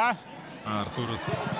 Dožnikovas pataikė į e, Odeoibo. Nu, Odeoibo toks e, tvirtas vyrukas, bet e, Arturo Dožnikovas smūgis irgi ne visai silpnas. E, beje, e, Arturas Dolžnikovas, ne, ne, nežinau, gal man rodosi, bet e, man atrodo, kad Nerijus Valskis labai tokią įtaką daro ir žaidybinę prasme. Matėm, kaip rodė, kaip reikėjo situacijų muš, bet galbūt net ir tokia gyvenimiška patirtimi. Čia labai Arturui pasisekė, nes aplink save jis turi patyrusius gerus žaidėjus. Tai yra Nerijus Valskis, Edvinas Girdvainis. Aš manau, kad jie tikrai dalinasi su, jom, su juo ne tik patirtim aikštėje, bet ir už jos ribų. Ir aš manau, kad šiuo metu tai Arturui labai svarbu turėti tuos gerus pavyzdžius aplinkui. Na taip, e, matome, kad pridėtos mažiausia 3 e, minutės e, pirmame kelnie buvo ten šiek tiek ir pauzių. Žalgiris dabar dar bando atakuoti. Aišku, ko gero svarbiausias šeimininkų uždavinys yra na, bent jau išlaikyti tą rezultatą, nepraleisti nereikalingo įvarčio, nes matėme, kad nors atrodo, atrodė ypač po antro įvarčio, kad e, Hegelmanai buvo atsidūrę šiokiam tokiam knockdown'e, tačiau po to buvo ir smūgis į skersinį ir tas neužskaitytas įvartis, taip kad mm, Hegelmanai vis tiek na, jie tiesiog neturi kur, kur, kur trauktis ir manau vis tiek ieškos e, kelių e, link Kauno Žalgirio vartų. O Davidas Mikelionis E, prisimenam, turėjo ir pademonstruoti savo reakcijos, mm, reakciją e, viename iš epizodų. Dar vienas e, kampinis gali būti jau vienas iš paskutinių šiame kelinėje išmuštas kamuolys. Na ir čia Arturo Dolžnikovo duona. Ir kaip matome, Na irgi tas yra labai svarbu, kad, na, atrodo, ten mažai šansų tą kamuolį užvaldyti, bet... Va, va, aš pasakyčiau, kad va tokie momentai ir lemia, lemia e, žaidėjo e, progresą futbole, kur buvo galbūt 5 metrus už, už gynėjo nugaros, bet e, jo noras, e, ta kova iki galo ir atrodo, kad tikrai tas kamuolys buvo prarastas, bet iškovojo savo komandai kamuolį. Tai aš manau, kad tokius momentus, kai, kai aš pastebiu, čia ir yra atsakymas, kodėl tie žaidėjai atsiduria rinktinėje ar, arba ne. Ir e, Donatas Šimėnas skelbia, kad e, pirmas kelnys e, baigėsi 2-0. Kol kas Kauno Žalgeris taip užtikrintai pirmavo, tačiau jeigu kalbame apie kelnį, buvo ten visokių situacijų, buvo situacijų, kuomet buvo karšta ir prie pačio Kauno Žalgerio vartų. Na, kol kas komandos eina pailsėti, o mes irgi šiek tiek e, kveptensim. Aišku, kaip įprasta transliacijos metu dar ir e, pakalbintas bus vienas iš žaidėjų. Čia matome gražus epizodas e, Gratas Irgėdas ir Filipas Danguvičius, du dešimtieji numeriai, vienas kitam galbūt ir padėkoja už žaidimą. O dabar Karolis Šilkaitis, pirmo įvarčio autorius.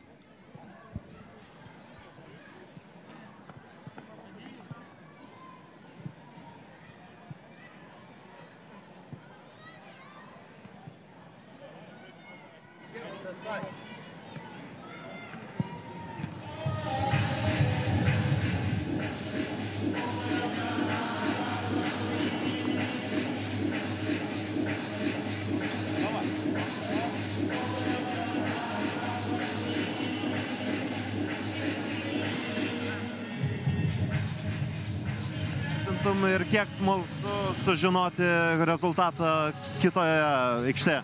Um, nu, tikrai neblogas pirmas kelnys, įmušėm du įvarčius. Labai svarbu, kad e, sugebėjom ne, neprasleisti įvarčio, nes pirmai tikrai užspaudė gale, bet stengiamės žiūrėti į savo rezultatą vis tiek, mums reikia tik tai laimėti. Tai ne, nesidairom į kitą aikštę. Ačiū, sėkmės.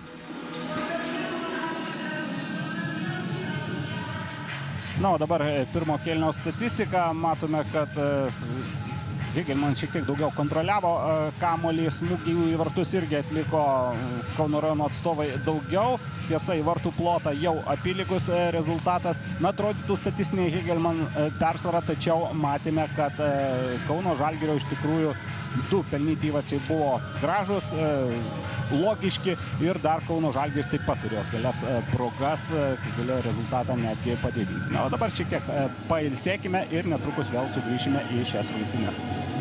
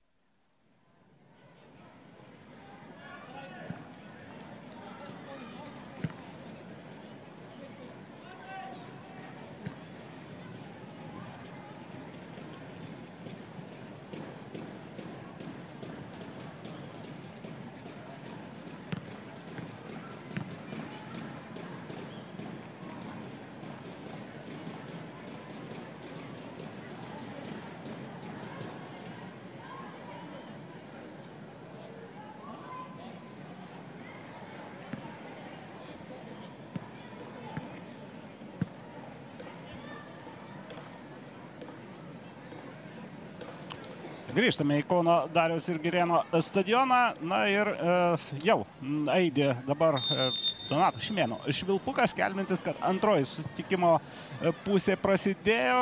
Na, Edgarai 2-0 Kauno Žalgis pirmauja. Na, ko lauktum iš antro kelnio? Aš tai įsivaizduoju, na, Hegelman šturmas turėtų būti. Aš irgi taip galvoju. Tai, vėlgi, pirmos minutės visos pastangos turbūt bus mestos į, į, į ataką, reikia įmušti pirmą įvartį, kad, kad ta viltis ne, negestų. Iš visgi dar tikiu, kad Hegelman komanda tikrai nesudėjo ginklų, nenuleido rankų ir, ir galbūt kažkokios bus įneštos korekcijos ir taktiniam išsidėstymė, galbūt daugiau, daugiau akcentuotas bus, bus polimas. Ir nu, norisi matyti intrigos šitose rungtynėse. Iš tiesų, turbūt tokio rezultato, koks buvo čia prieš kelias savaitės, kuomet Kauno Žalgis laimėjo 4-0, na, galbūt nebūtų tas rezultatas, patiktų tas rezultatas Kauno Žalgiriui žaidėjams ir galim, bet aišku, visuomet norisi matyti kovą iki galo, juolab, kad nepaisant nepalankaus rezultato po pirmos, po pirmos rungtinių pusės matėme, kad ir Kauno rajono Hegelmas turėjo savas progas. Tik skirtumas yra tas, kad, kad tų progų neišnaudojo. Na, o matome, matome ir naują veidą po pertraukos pasirodžiusioje aikštėje Hugo Figuredo. Šeštasis numeris pakeitė jisai 12 numerį Luką Čerkauską. Na, iš karto sakiau, kad ne, norėtųsi kitokių įvykių. Tikmės čia Gėdžius Matulevičius, tuikas smūgis į artimą į kampą ir, na, vėl atrodo, kad situacija, iš kurios gal net ir buvo galima kažką daugiau išspausti, bet Tuiko smūgis, aišku, jis nebuvo labai iš, nebuvo iš paprastos situacijos, reikia tą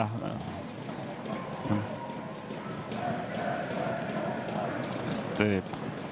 Na taip, Gerijos Matulevičius gražiai čia užsikirto kamolį, bet vėlgi turbūt dar ir labai svarbi yra tokia detalė, kad na, kartais gynėjams būna sunkių situacijų baudos aikštelėje, tai kad jie išsidėstytų taip, kad na, maksimaliai apsunkintų darbą puolėjams. Tai. Jo, ir tai gali būti padaryta mm, kiekybinė kažkokia tai persvara. Ir šiandien turbūt e, Matome, kad Kauno Žalgeris rungtynės pradėjo trim vidurio gynėjais. A, čia dar, taip, čia dar epizodas, kuomet buvo įmuštas, na, kamuolys buvo atsidūręs vartų tinkle, bet matome, kad raudona linija yra būtent Dangubičiaus kojos galas, būtent kojos ta vieta galima įmušti legalų įvartį, o Kauno Žalgerio gynėjo pitis buvo buvo toliau nuo vartų, taip kad nuo šalia ten užfiksuota, na, pagal metodinius nurodymus, sakykime, teisingai. Taigi 2-0 ir taip, kaip ir, kaip ir minėjai, kad na, nėra ko slaptytis apkasuose ir tas įvartis, jeigu pavyktų įmušti Hegelmano žaidėjams įvartį, jisai gerokai atgaivintų viltis, nes priminsiu, kad lygiosios irgi netenkina Hegelmaną, jo lab, kad žinome, kaip situacija klostosi Šiauliuose, o ten po pirmo kėlinio Šiauliai pirmauja, įvarčius įmušė Šepetūnas ir Micevičius ir Šiauliai gana užtikrintai pirmąją, nors pirmavo Šiauliai ir telšiuose dviejų įvarčių skirtumų. Buvo, buvo žmonių, kurie išsijungė transliaciją tuo metu, kai rezultatas buvo 3-1, pats nebuvai tame tarpe. Ne, kaip tik aš mačiau paskutinės 20 minučių ir na, tikrai buvo na, neįprasta matyti tokį rezultatą, bet, bet reikia atiduoti pagarbą ir, ir telšių komandai, kuri kovojo iki galo. Aišku, galbūt padėjo ir ta raudona kortelė, visada lengviau žaisti prieš priešininką, kuris yra mažumoje. Bet buvo tikrai įdomios rungtynės.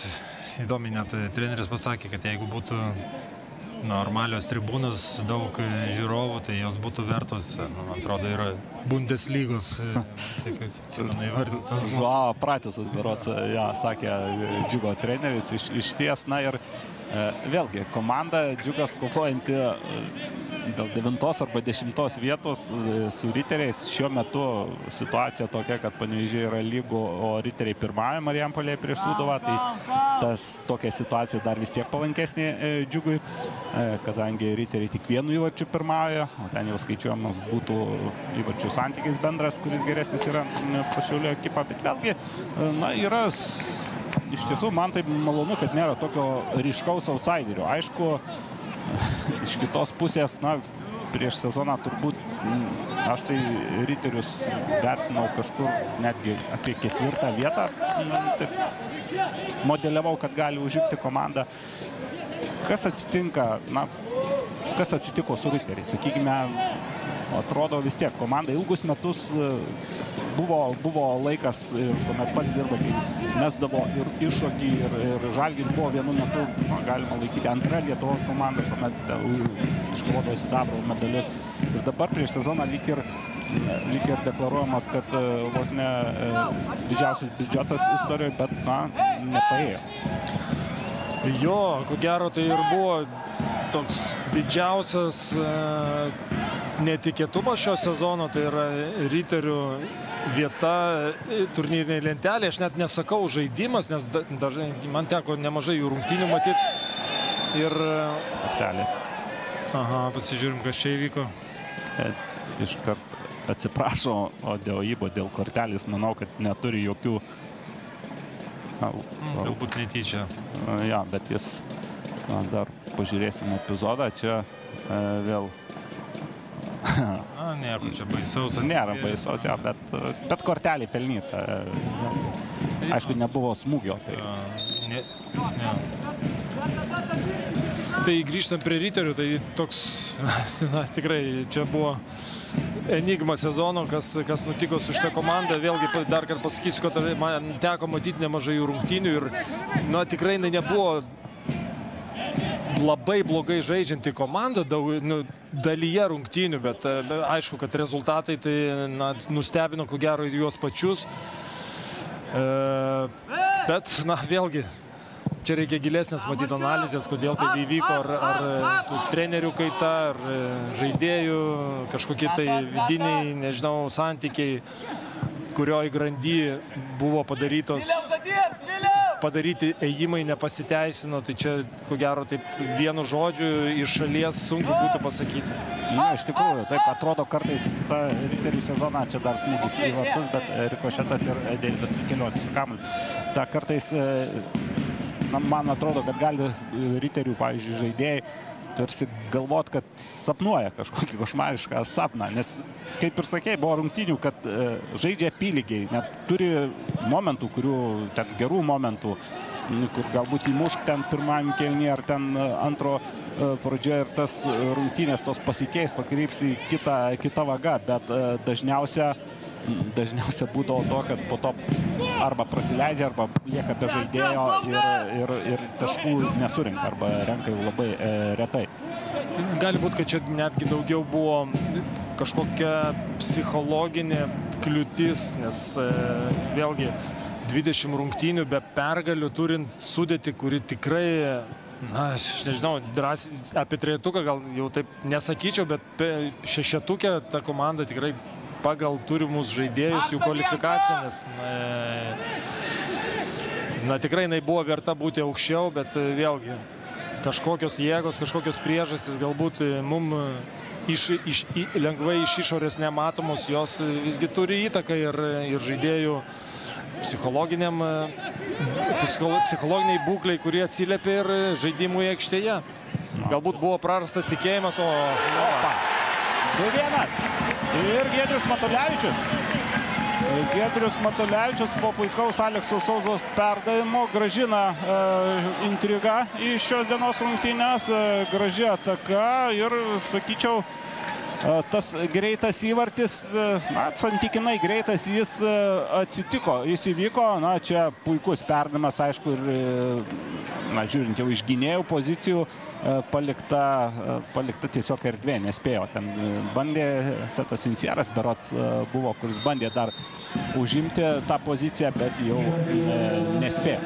2-1 Gedrius Matulevičius, antrasis Gedriaus įvartis šiame OptiBet A lygos sezone ir, ir Hegelmanai, turi pavyzdį rungtynės, kaip jau apie jas jau minėjau, rungtynės, aišku, jos vyko kitame stadione, bet rungtynės pirmame rate, kur iš 0-2 rezultatas tapo... Jo, aš irgi gerai atsimenu tos rungtynės, bet šitą momentą galbūt reikėtų šiek tiek daugiau komplimentų atiduoti Gedriui, nes jisai žaidžia tokioje pozicijoje, kur na, ta amplitudė yra didelė, jeigu vidurio saugas, atraminis vidurio saugas atsiduria, sakykime, tokioj krašto, daugiau saugo krašto polėjo pozicijoje arba vidurio polėjo pozicijoje ir, ir uždaro skersą perdavimą, tai rodo, kad na, tikrai jo amplitudė darbo yra didelė ir žaidžia drąsiai,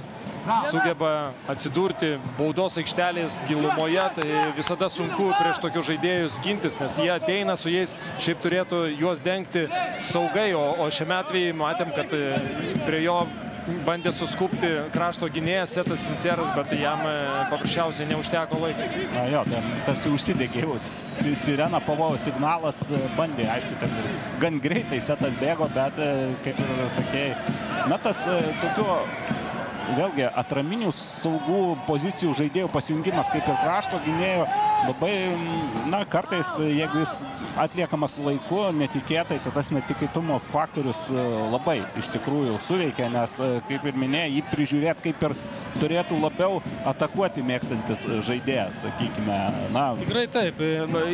Gerai paminėjot, kad žaidėjų atsidūrimas kitų žaidėjų pozicijose, tai, tai vėlgi kaip atraminio saugo atsidūrimas krašto e, polėjo pozicijoje arba ten vidurio saugas atsiduria kraštinio saugo pozicijoje, tai išderina šiek tiek sujaukia gynybinius susitarimus e, besiginančios komandos ir va, tokie nestandartiniai įmai dažniausiai ir sukelia, e, nesakysiu paniką, bet tokius nesusipratimus besiginant. Kartais užtenka sekundės dalies ir jau va, kaip ir dabar setas suprato, kad pavojus, bet jau per vėlai, ja, fiziškai. Buvo per vėlai, nes perdavimas buvo geras, kamuolys e, per daug neužsibuvo ore ir Gedrius e, labai gerai atsidūrė toj užbaigiančios pozicijoje. Keitimas, dvigubas keitimas, kurį atlieka Nerius Mačiulis. E, vietoj Nerijaus Valskio. Į aikštę žengia Armandas Kučys ir keičiamas Martinas Zapkus.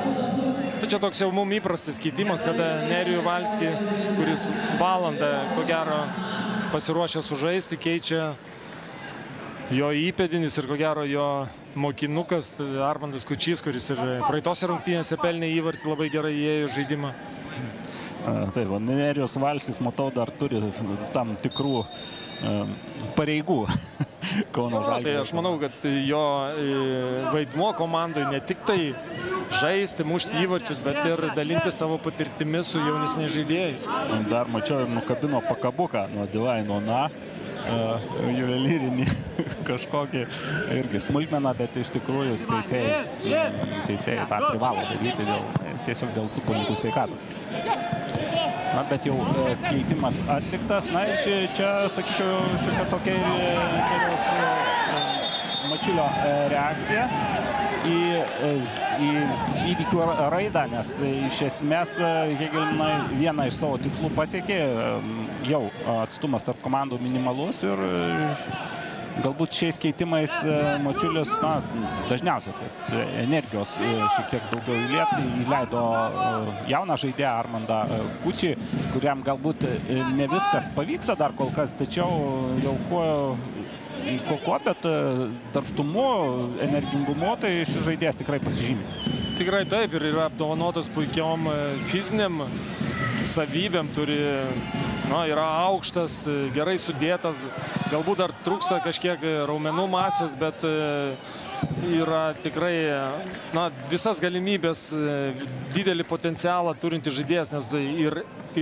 pasikartosiu, yra labai aukštas ir yra labai greitas ir gerai koordinuotas. Tai nežinau, metų dviejų bėgiai, kai jau, kaip sakant, galutinai subręs, užsidės tą reikiamą, reikia, reikiamus raumenis, tai bus tikrai galingas polės. O Hegelmanai taip pat atlieka keitimą.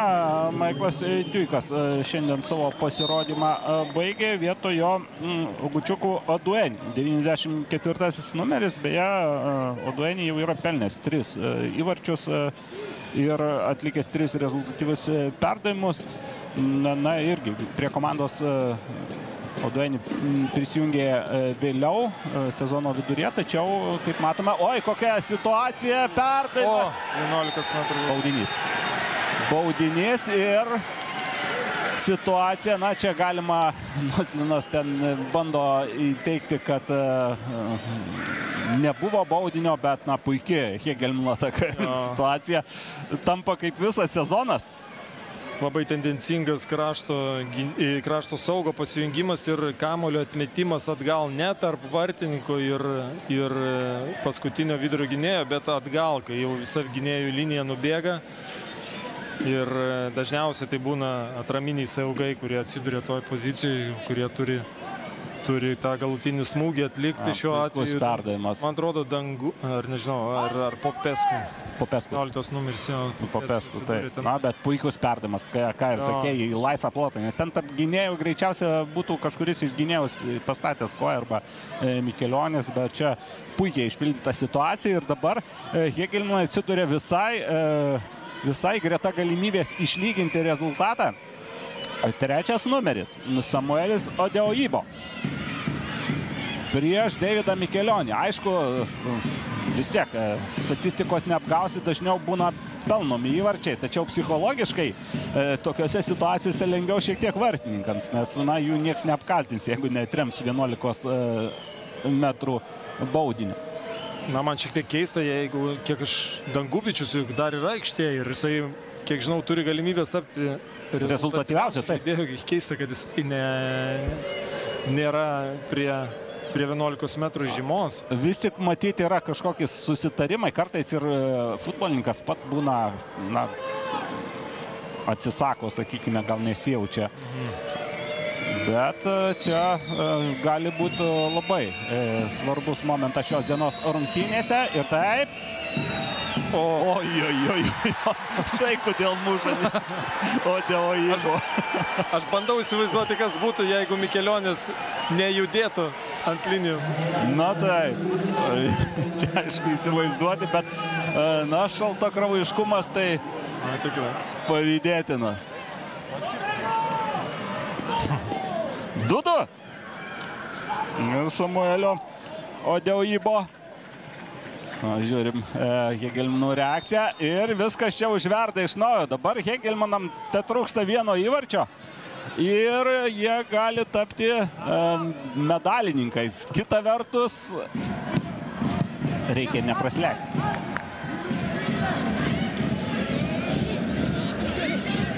A dabar jau Kauno Žalgiris tokiam savotiškam knockdown'e atrodė buvo situacija kontroliuojama, dviejų įvarčių persvara ir staiga per kelias minutės praleisti du įvarčiai ir dabar tarsi viską daryti iš naujo, nes priminsiu, Kauno Žalgiris irgi siekia pergalės, tiesa turint omeny, na galima šnekėti, ką nori, bet jau turint omeny, kad vis tiek žiūri, kas dedasi kitame stadione, o kitame stadione Šiauliai pirmauja 3-0 jau dabar prieš bangą. Tai jau tikimybė, tikimybė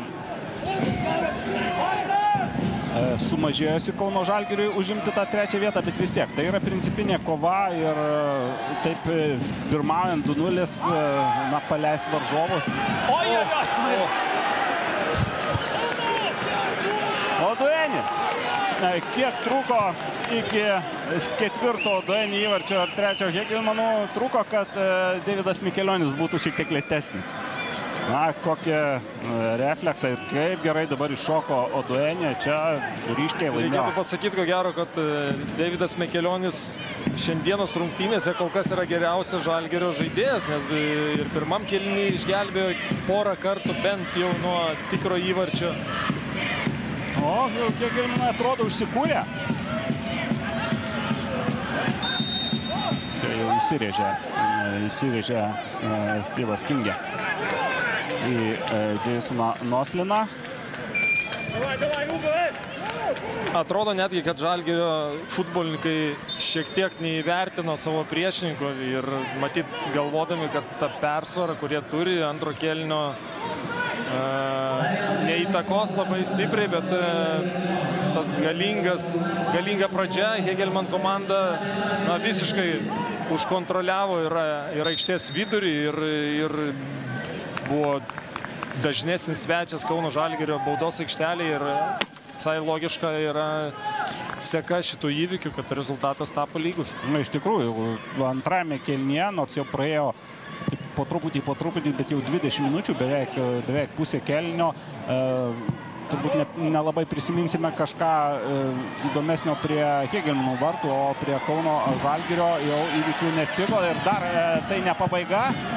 Na, dabar du kapitonai sudalyvavo epizode, Klaudijus Substas ir Klaudijus, Klaudijus Substas atliko perdamą ir Edinas Girdvainis, kuris perėmė kapitono raištį iš Martino Dabkaus, tą perdamą nutraukė.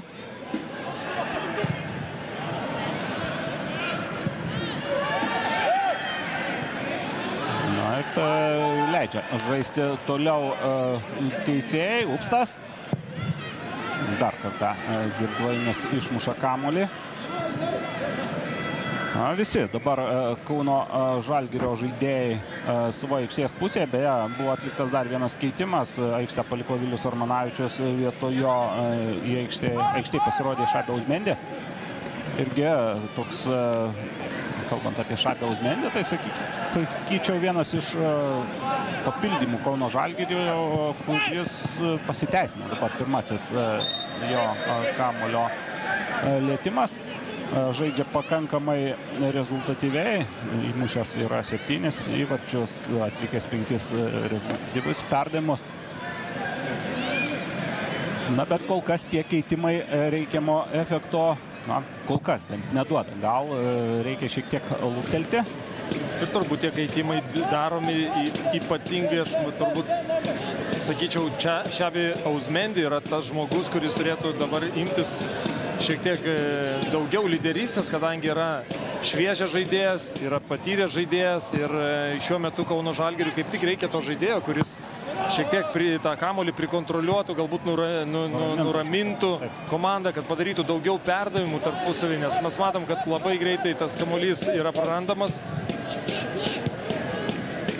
Tai ko gero pirmas kampinis antrą kelią. Taip, sakyčiau, kad Šabė Uzmendi toks gal labiau link dispečerio jam galbūt tiktų vaidmuo ir jeigu tik atmušinėsi kamolį ir vėl ginsiesi, na, psichologiškai labai sunku žaisti kaip jo, netgi mes matėm kamolio laikymo statistiką. Statistiką po pirmo kelnio, tai Hegelman, man atrodo, 59-41 buvo procentai, tai reiškia, kad ir pirmam kelnį, ir antram kelnį Hegelman komanda kontroliuoja daugiau kamolį.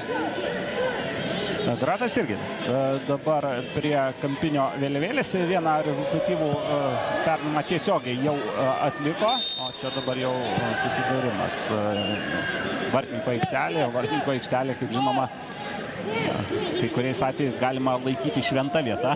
Ten jeigu būna kontaktas, tai dažniausia švilpama pražanga vartininko naudai. Tuo tarpu riteriai, riteriai mušė Matižio antrą įvartį.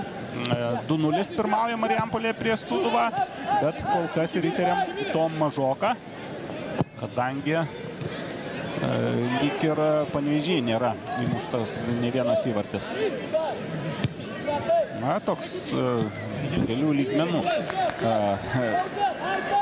Kelios, kelios intrigos dar likę OptiBeta lygo ir tai yra gerai, nes faktas, kad prieš paskutinį turą tik trys komandos žino galutinę savo vietas. Jau nemažai ką pasako. Dabar Hegelmino ataka. Perdavimas. Turbūt jis kampinių turbūt virsta. Patrikas Papesko.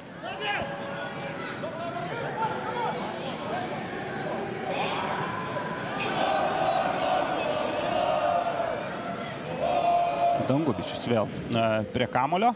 20 numeriai šiandien atlieka kampinius. Filipas Dangubičius jūsų ekranuose. Pirmo virpso skrieja kamuolys. Na, kartais būna tokie perdavimai labai pavojingi, o čia jau lenktynės ir Arturas Dolžnikovas. Dolžnikovas ir yra. Ne. Bet ataka tęsiasi. Kučys yra. Vis tik tai yra. Armandas Kučys. A, ryktelėjau. Iš karto atrodė, kad jau kamuolys rytasi į vartus. Na, bet čia turbūt rezultatyvų perdamą užskaityčiau Arturui Dolžnikovui, bet, na, šių rungtynių scenarius toks pat permainingas kaip ir pirmenybių. Na ir ką, ką reiškia bėgti palaikyti komandos draugą? Irgi. Reiškia turėti tokio, tokius žaidėjus, kurie na, pasižymi išskirtinių greičių, kaip Artūras, nes atrodo, kad su kamuoliu bėgo greičiau už... už... Gynė be kamuolių. Yeah. Taip. Armandas Kučis. Ramina dar nespėjo džiaugtis. Tribūnas. Ramina. Nes buvo pasigirdę ir Hegelmino ir galio, ypač kaip išlyginamo įvarčio po pirmo to skanduotės ir dabar savo smūgiu šiek tiek nuramina. Armandas Kučys ir ką? Paprastai tokiu atveju, kai įvartį muša žaidėjas pasirodęs po keitimo, sakoma, kad treneris pataikė su keitimu. Čia var peržiūros nėra. 3-2 Kauno Žalgiris vėl, vėl šiek tiek ramina Šiaulių gerbėjus, nes nebejoju, kad, kad seka, seka šių rungtynių rezultatą. Jo, ir įvartis buvo pasiektas tada, kai Kauno Hegelmanas kėlė kampinį. Taip. Stebėjo, tai Ir čia, kur minėjai, kad tų situacijų būna, na, būna kartais, kai komanda bėga į ataką ir praranda kamuolį. Ir jau gynėjai ten jungiasi ataką, tuomet daug erdvių buvo. Tai čia gal ne kontratakos, bet būtent iš po kampinio pačių keltų gavosi tokia situacija, kur varžovai pasinaudojo, na, pirmiausia, tai individualiomis Arturo Dosnikovo savybėmis. Ir tokį, tokį žaidėją tu negali palikti vienas prieš vieną su gynėju. Čia, man atrodo, šiek tiek neįvertino šitų e, Tolžnikovo savybių ir jis buvo berods paliktas vienas prieš vieną. Na, taip. Kučys, aišku, gerai palaikė ataką ir atrodė, komanda buvo visiškai jau tokiam knockdown'e, jau atidavus ir iniciatyvą, negalėjo pakilti, bet va, po priešininkų kampinio įmušė įvartį. Dar. Dabar dar viena kontrataka ir dabar turi persvarą e, Kauno Žalgiris, Dožnikovo perdamas, tiesa, ko gero, čia perdamo pati kokybė nebuvo pati geriausia ir Na, čia palauk jau nėra. Matom, perima kamolį, kingė ir bėga į priekį. Spano. Na, kovos šiandien tikrai netrūksta ir siužetas ir šių rungtynių yra irgi sunkiai nusakomas arba nenusakomas. Čia vėl nuošalės nebuvo. Buvo nuošalė paprasčiausiai. Nekėlė greičiausia. Taip. Čia reikėtų galbūt nuraminti šiek tiek kamolį, komandos draugus ir va, tas pats. Man atrodo, turi ryšį su tai met gerai Šabė Osmendi. E, na, Nes tarsi išgirdęs. Koks tas ryšys? ja. Tarsi išgirdęs iš karto šiek tiek. Nes, na, tas jaunatiškas toks entuzijazmas gali būti, pavyzdžiui, pas Armandą. Na ir Arturas Dolžinkovas nėra, nėra dar toks jau veteranų, sakykime. Be abejo, kad patirtis yra didelis dalykas ir turėti komandai žmogų, kuris jau praėjęs, jau išgyvenęs tokius scenarius, jisai tikrai priims galbūt ramesnius sprendimus, sugebės šiek tiek sulėtinti tą rungtynių tempą, kuris na, galbūt netgi nepalankus dabar pirmaujančiai komandai. Na taip. E, vėlgi, e, aišku, dabar e, vėl Hegelinam reikia mušti du įvarčius, norint teigiamo rezultato, bet mes matėm, kiek jiem nedaug laiko tai reikėjo įmušti tuos du įvarčius. Ir dar turėjau progų, prisimenam Davido Mikelionio reakciją. E, Čia greičiausia dar bus ir galbūt net ir nuošalė šiame epizode. Bet vėl, ataka ir labai daug perdavimų. Mm, Ką...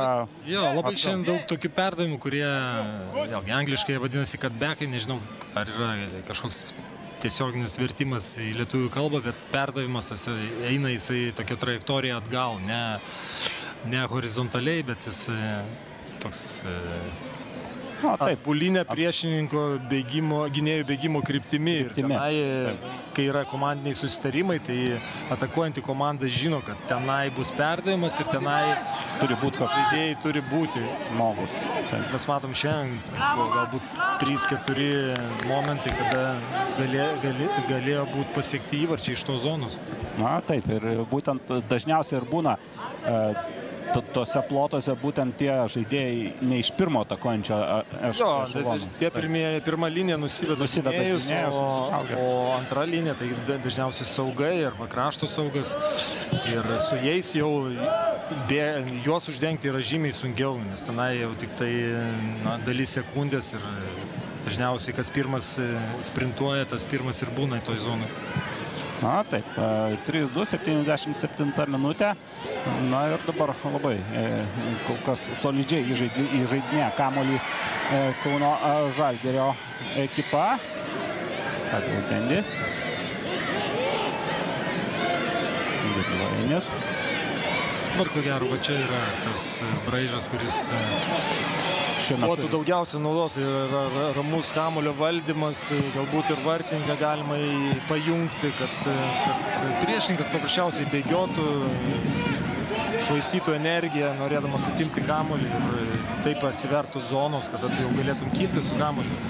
Tai galbūt Kauno Žalgiris šiek tiek šiandien na, tos kantrybės jam trūksta, nes nebūtinai kiekviena ataka turi baigtis kažkokiu užbaigiamu smūgiu Smūgiu į vartus, kada tu pirmauji tikrųjų ir lieka 20 minučių, galbūt geriau yra tada iš, išvarginti, išsekinti savo priešininką, kad galėtum jau tikrai susikurti tą progą.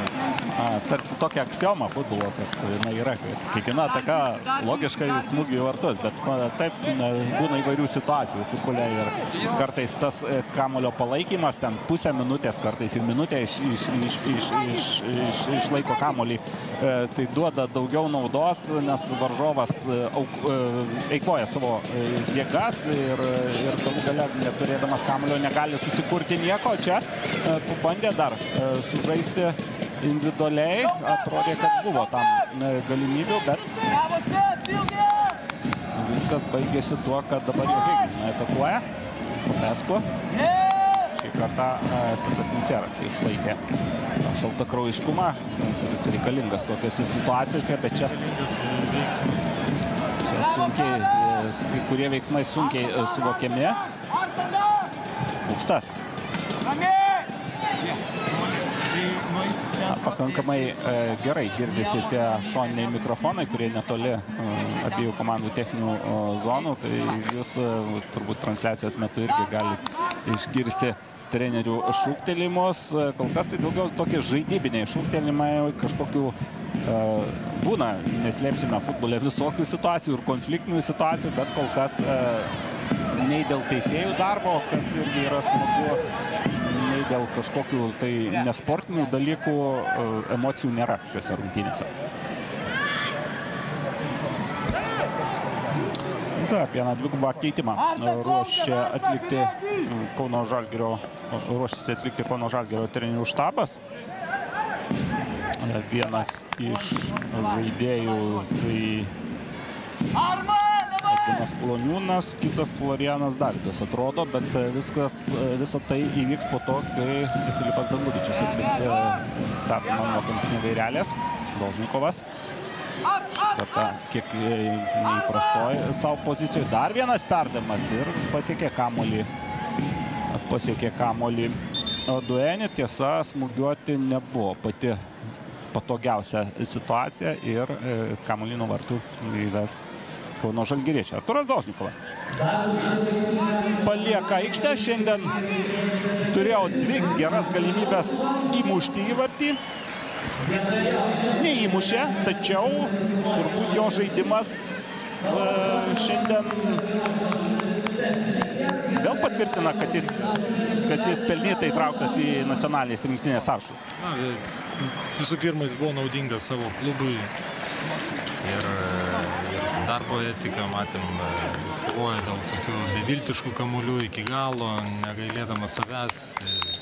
Vėl matėm jo greitį, matėm driblingą vienas prieš vieną, kėlė tokį pastovų pavojų varžovų vartams. Ir tokio profilio žaidėjai, jie, jie labai daug jėgų išnaudoja tie super greiti žaidėjai, tai tas keitimas visai logiškas, nes 90 minučių išlaikyti tokį intensyvumą labai sudėtinga. Na, iš tikrųjų, dar prisiminimam tas būna kartais netkreipia į tokias smulkmenas, aš dabar prisimenu tą epizodą Arturo, tas e, pirmo kelnio pabaigoje, kuris ten iki auto bijosi varžovą ir iškovojo kamuolį savo komandai. Atrodo, kas tas yra, o kartais iš tų smulkmenų susideda dideli dalykai, nes tai visų pirma yra ir charakterio e, tam tikras e, bruožas ir, ir galbūt na, neslėpsim, būna žaidėjų, kurie kartais pasitaupo, sakykime, nebėgant tų sunkesnių kamolių, o čia matėme, kad to neįvyko. Ja, būna žaidėjai, kurie žaidžia, kai su taip vadinamais tik su švariais kamuoliais. Tik su švariais, taip. Broli! Broli! Dar vienas o, puikus perdavimas. Bandymas, perdavimas iš tikrųjų geras perdavimas. Aišku, ten reikia pasakyti, kad ir gynėjai, vėlgi, nors ir prasmukiavo Hegelman žaidėjas, bet, na, jam buvo sunku. Lengvai nedavė. Taip, lengvai nedavė ir, ir irgi tokios, tokios smulkmenos kartais gali nemažai įtakoti vienokią ir kitokią epizodo baigčiai. Na, dar vis tiek noriu šiek tiek dar grįžti prie rinktinės. Kiek supratau, renkatės kada ir kur? Renkamės rytoj Kaune. Kaune. Reiškia, Treniruosimės šitoje aikštėje. Supratau, dar viena ataka ir dar vienas kampinis. Šito aikštėje treniruositės, po to skrydis į Jotkalnyje. Taip, trečiadienį mes keliaujame į Jotkalnyje su tiesioginio čarteriniu reisu. Ir ketvirtadienį žaidžiame tenai. Minėjot, minėta buvo neseniai visai tokia statistika, kad Jotkalnijos rinktinė yra vyriausia berots pagal vidutinį žaidėjo amžių, o Lietuvos rinktinė papuola jau į tą jaunesnių grupę.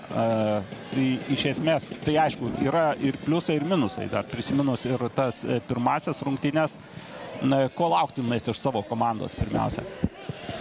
Gal net ne rezultato prasme.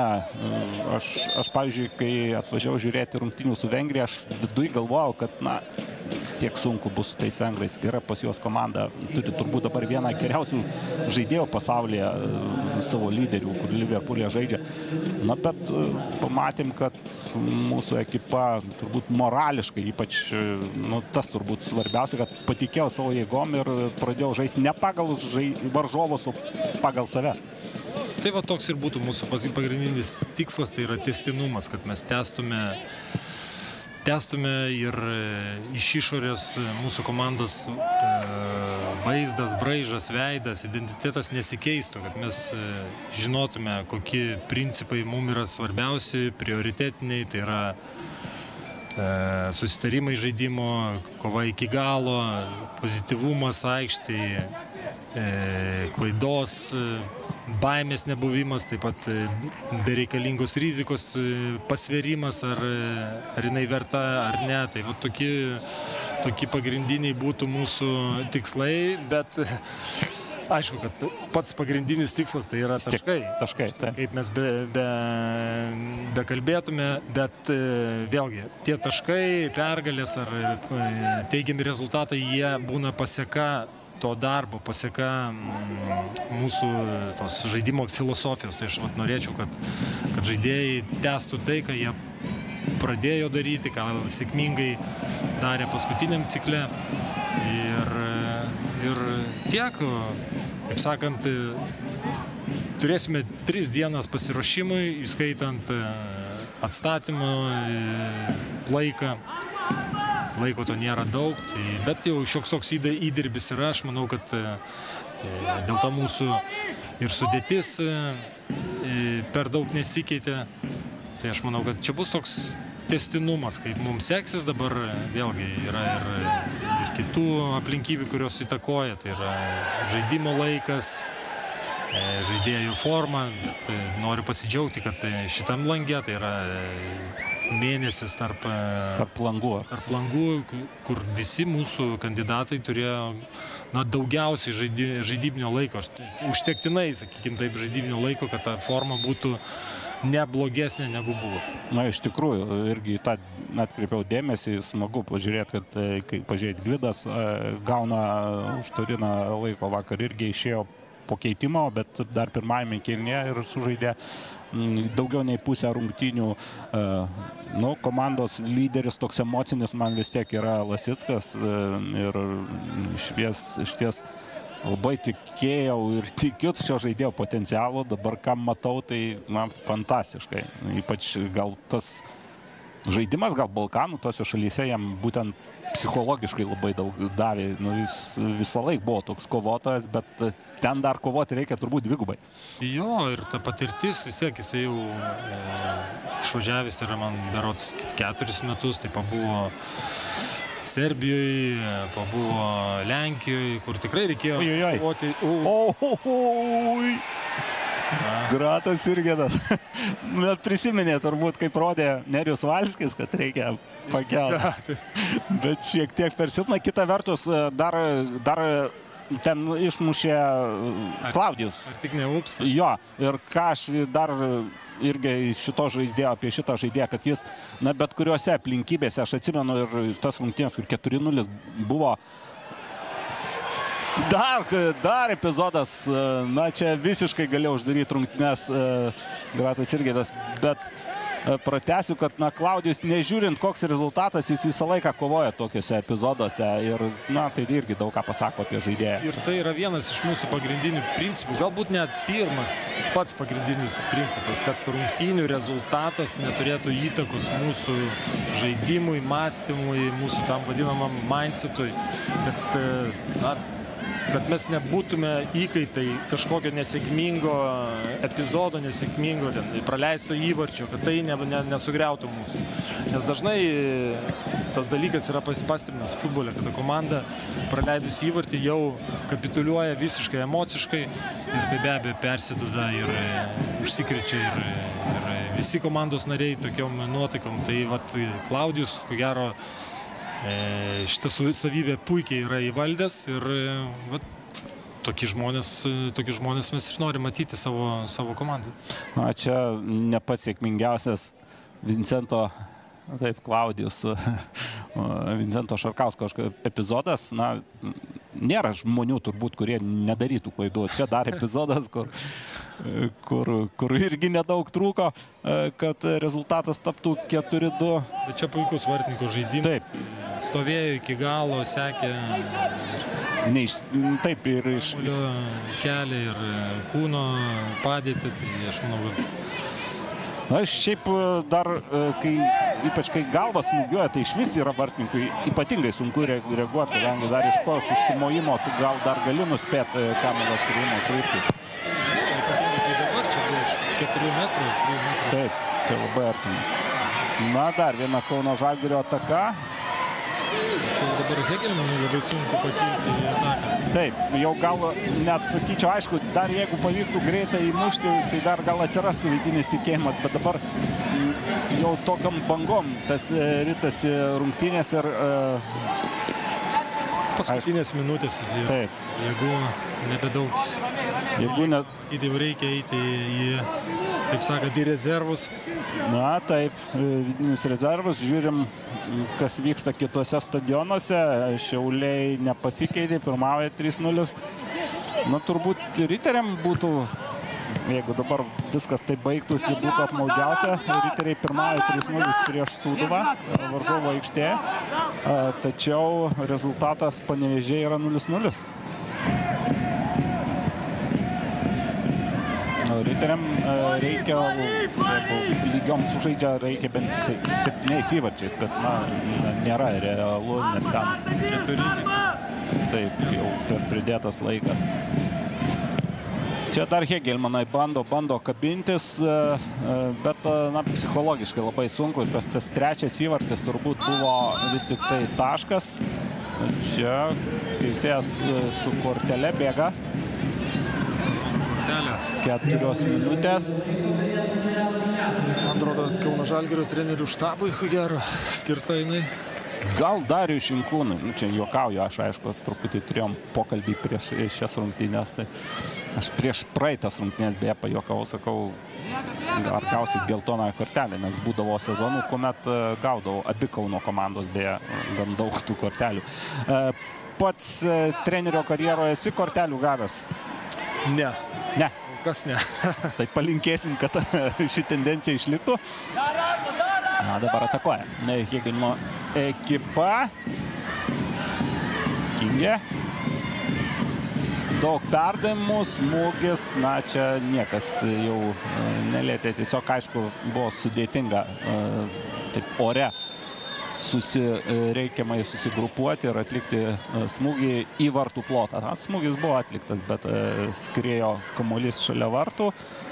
Na ir tos jau kelios minutės, na, galime sakyti, jau artina e, futbolo akademija Šiaulius prie, prie e, reikiamą rezultatą. Aš net nebejoju, kad dabar e, jau ten rungtynės baigėsi, kad visi Šiaulių futbolininkai ir sirgaliai e, žiūri šią transliaciją. E, Taigi Saulės e, miesto komandai galime perduoti linkėjimus, e, bet aišku dar, e, dar e, viltis e, gali būti gyva e, tol, kol nenuaidėjo finalinis e, švilpukas. Aišku, dviejų įvarčių, na, jeigu įvyktų dabar e, toks stebuklas ir Hegelina įmuštų, tai turbūt būtų na, aštuntasis pasaulio stebuklas. Nors dar palaukim. Bošnekas, perimtas kamuolys. Na, e, Vakar Anglijos čempionate toksai stebuklas įvyko. ai, teisingai. E, Ten e, Tottenhamas. Nagli, įvartį mušti reikia kiek? Nu, 30 sekundžių. Teisingai. teisingai. Kamuolys iš aikštės vidurio pradėtas ir po 30 sekundžių vėl gali praleisti įvartį arba įmušti įvartį. Tai Jo. Šiaip futbole tai įmanoma ir, ir rungtynės nesibaigė, kol... kol A, tas irgi teisinga. Galų gale netgi ir jeigu, kaip ir sa- sakei, tas mentalitetas yra, kad nepaisant rezultato, tu darai tą, ką Tikrai taip. Ir dabar įdomu vat, stebėti Jėgelino komandą. Ar, ar šitą komandą jau pasidavus, ar buvo kažkokios korekcijos, galbūt kampinis, galbūt vartininkas eis į baudos aikštelę prie kampinio.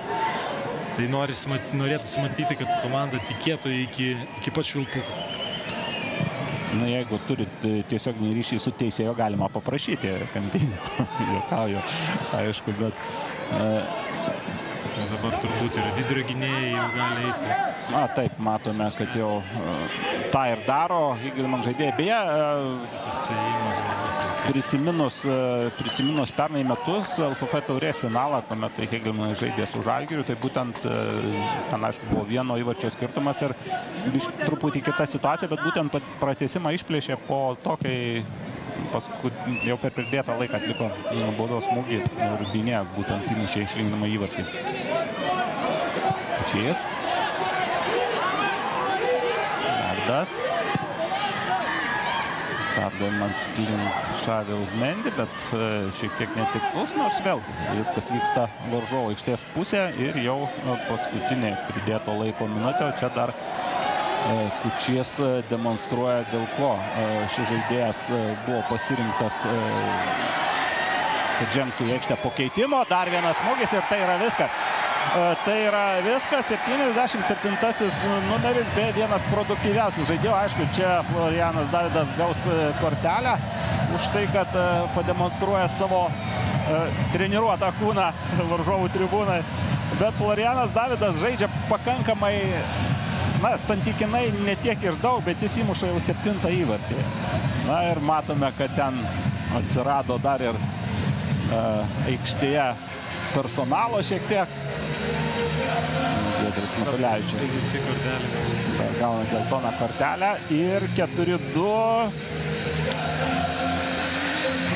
reiškia ką? Reiškia tą, kad Šiauliai jau švenčia. Šiauliai švenčia, Kauno Žalgiris taip pat sezoną baigia irgi džiaugsmingai, matote, Darius Šimkūnas. Taip, kortelė, kaip ir sakiau, Florianui Davidui.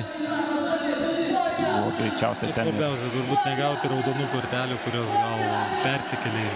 Taip, tas svarbiausia, bet ten dar buvo, ko gero, dar ir užrašas kažkoks.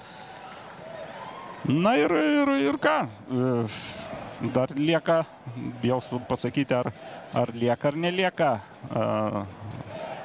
Intrigos dėja nėra jau. Rodo mum, kad baigėsi rungtynės Panevižyje, jos baigėsi 0-0 ir baigėsi rungtynės Marijampolė, kur riteriai laimėjo 3-0, bet neužtektinai. Taigi, Kauno Žalgiris laimėjo dar vieną derbį, 4-2. Kol kas šita aikštė yra Kauno Žalgiriečiams žaidžiant prieš Hegelmaną labai sėkminga. Na, įdomios buvo rungtynės, permainingas siužetas 2-0, 2-2 su šansais 2-3. Po to Armandas Kučys mušė įvartį ir jau višnelę ant torto uždėjo, aišku, Florianas Davidas 4-2. Na, manau, kad rungtynės patiko, ar ne?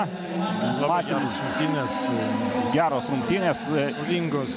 Taip, na, Įvarčiais. šiek tiek gaila gal Klaudijos Upsto ir komandos draugų, bet, na, futbole taip yra panašiai kaip krepšinė. Kaip Rimas Kurtinaitis sakė, kad gerai abiem nebūna. Na, o mes jau baiginėjame šį reportažą. Dar, aišku, bus vienas iš šių rungtynių žaidėjų, būtent Trečio įvarčio autorius Armandas Kučys. Jis pasidalins savo karštais įspūdžiais. Na ir žiūrime. Ir klausom. Sveikinimui su pergalė galbūt nepavyko pilno komplekto paimti, kadangi kitose rungtynėse nepalankiai susiklosti jums rezultatas, bet principinis derbis šoktelėjo tik ketvirtą vietą. Jo, smagu, smagu, kad tiek žiūrovų ateina, nepavyko tos trečios vietos, bet esam laimingi, kad du kartus pailiui nugalėjom Hegelmą, tai puikiausias nuotaikos. Šiaip daug kas užmiršta, kad ir 15 rungtynių A lygoje jūsų komanda nepralaimėjo. Jo, šiaip iš tikrųjų pas net nežinau, kai dabar kol pasakė, tai tikrai smagu be tas 15 nepralošti, bet reikėjo laimėti, o ne nepralošti. Ir pabaigai pačiam sezono pabaiga taip pat sėkmingesnė, pradėjo kristi ir tie įvarčiai, kiek smagu užbaigti pozityviai ir pačiam sezoną. Nežinau, toks mano darbas, bandyti kainos varžybose bent komandai padėti, pelnyti įvartį ir atiduoti asistą. Sezono galas tikrai neblogas, man sakyčiau, ir tie komandai, tai smagu už tai. Ačiū, sėkmės. Girdėjom, ką šnekėjo Armandas Kučys, iš ties sveikinam, sezonas baigėsi, sveikinam sezono laureatus, užjaučiame gal komandoms, kurioms šiek tiek nepasisekė. Na, bet aišku, sezonas baigėsi tik klubinis. Visų pirma, laukia dar mūsų rinktinės, rungtynės ir su viltime. Ir aišku, su lūkesčiai žiūrėsime į tai, kas vyksta toli nuo mūsų šalies, Jotkalnyje, po to Kiprė. Tai Edgarai, ką norėtum pasakyti trumpai apie sezoną ir apie, apie laukiančią kovą? Buvo įdomus sezonas, kontroversiškas, su daug netikėtumų ir, ir buvo, tai ir daro futbolą įdomiu, taip kad tikiuosi, kad sekantis sezonas bus dar įdomesnis, komandos padarys savo išvadas, sustiprės ir lauksime gerų rungtynių kitais metais, o, o rinktinės vardu noriu pasakyti, kad na, tęsim savo darbą, atiduosim visas jėgas ir stengsimės pradžiuginti futbolo gerbėjus. Labai tikiuosi, kad taip ir bus. Na, iš ties, puikus sezonas, apie jį dar bus turbūt ne viena išreikšta nuotykį, nu, ne viena išreikšta mintis ir bus ap, aptarimų daug. Aišku, dar e, sezonas e, saliginai baigėsi, nes bus dar perinami susitikimai. Devintą vietą užėmęs Telšių džiugas žais su antra pirmos lygos komanda. E, antrą vietą pirmoje lygoje užėmė B1 NFA ekipa. Tai bus, bus, turėtų būti perinamos rungtynės tarp pirmos ir antrų lygų. Žodžiu, dar veiksmo bus. Na, o mes, aišku, laukime, laukime rinktinės. Dabar jau tikrai laukiame, su viltim laukiame ir tikime, kad viskas bus gerai. Dėkui e, Jums, e, šias rungtynės Jums e, komentavo komentatorius Naglis Miknečius ir Lietuvos nacionalinės rinktinės treneris Edgaras Jankauskas. Gero futbolo visiems, na, tarp sezonis bus trumpas, laukime jau naujo sezono. Iki. Viso gero.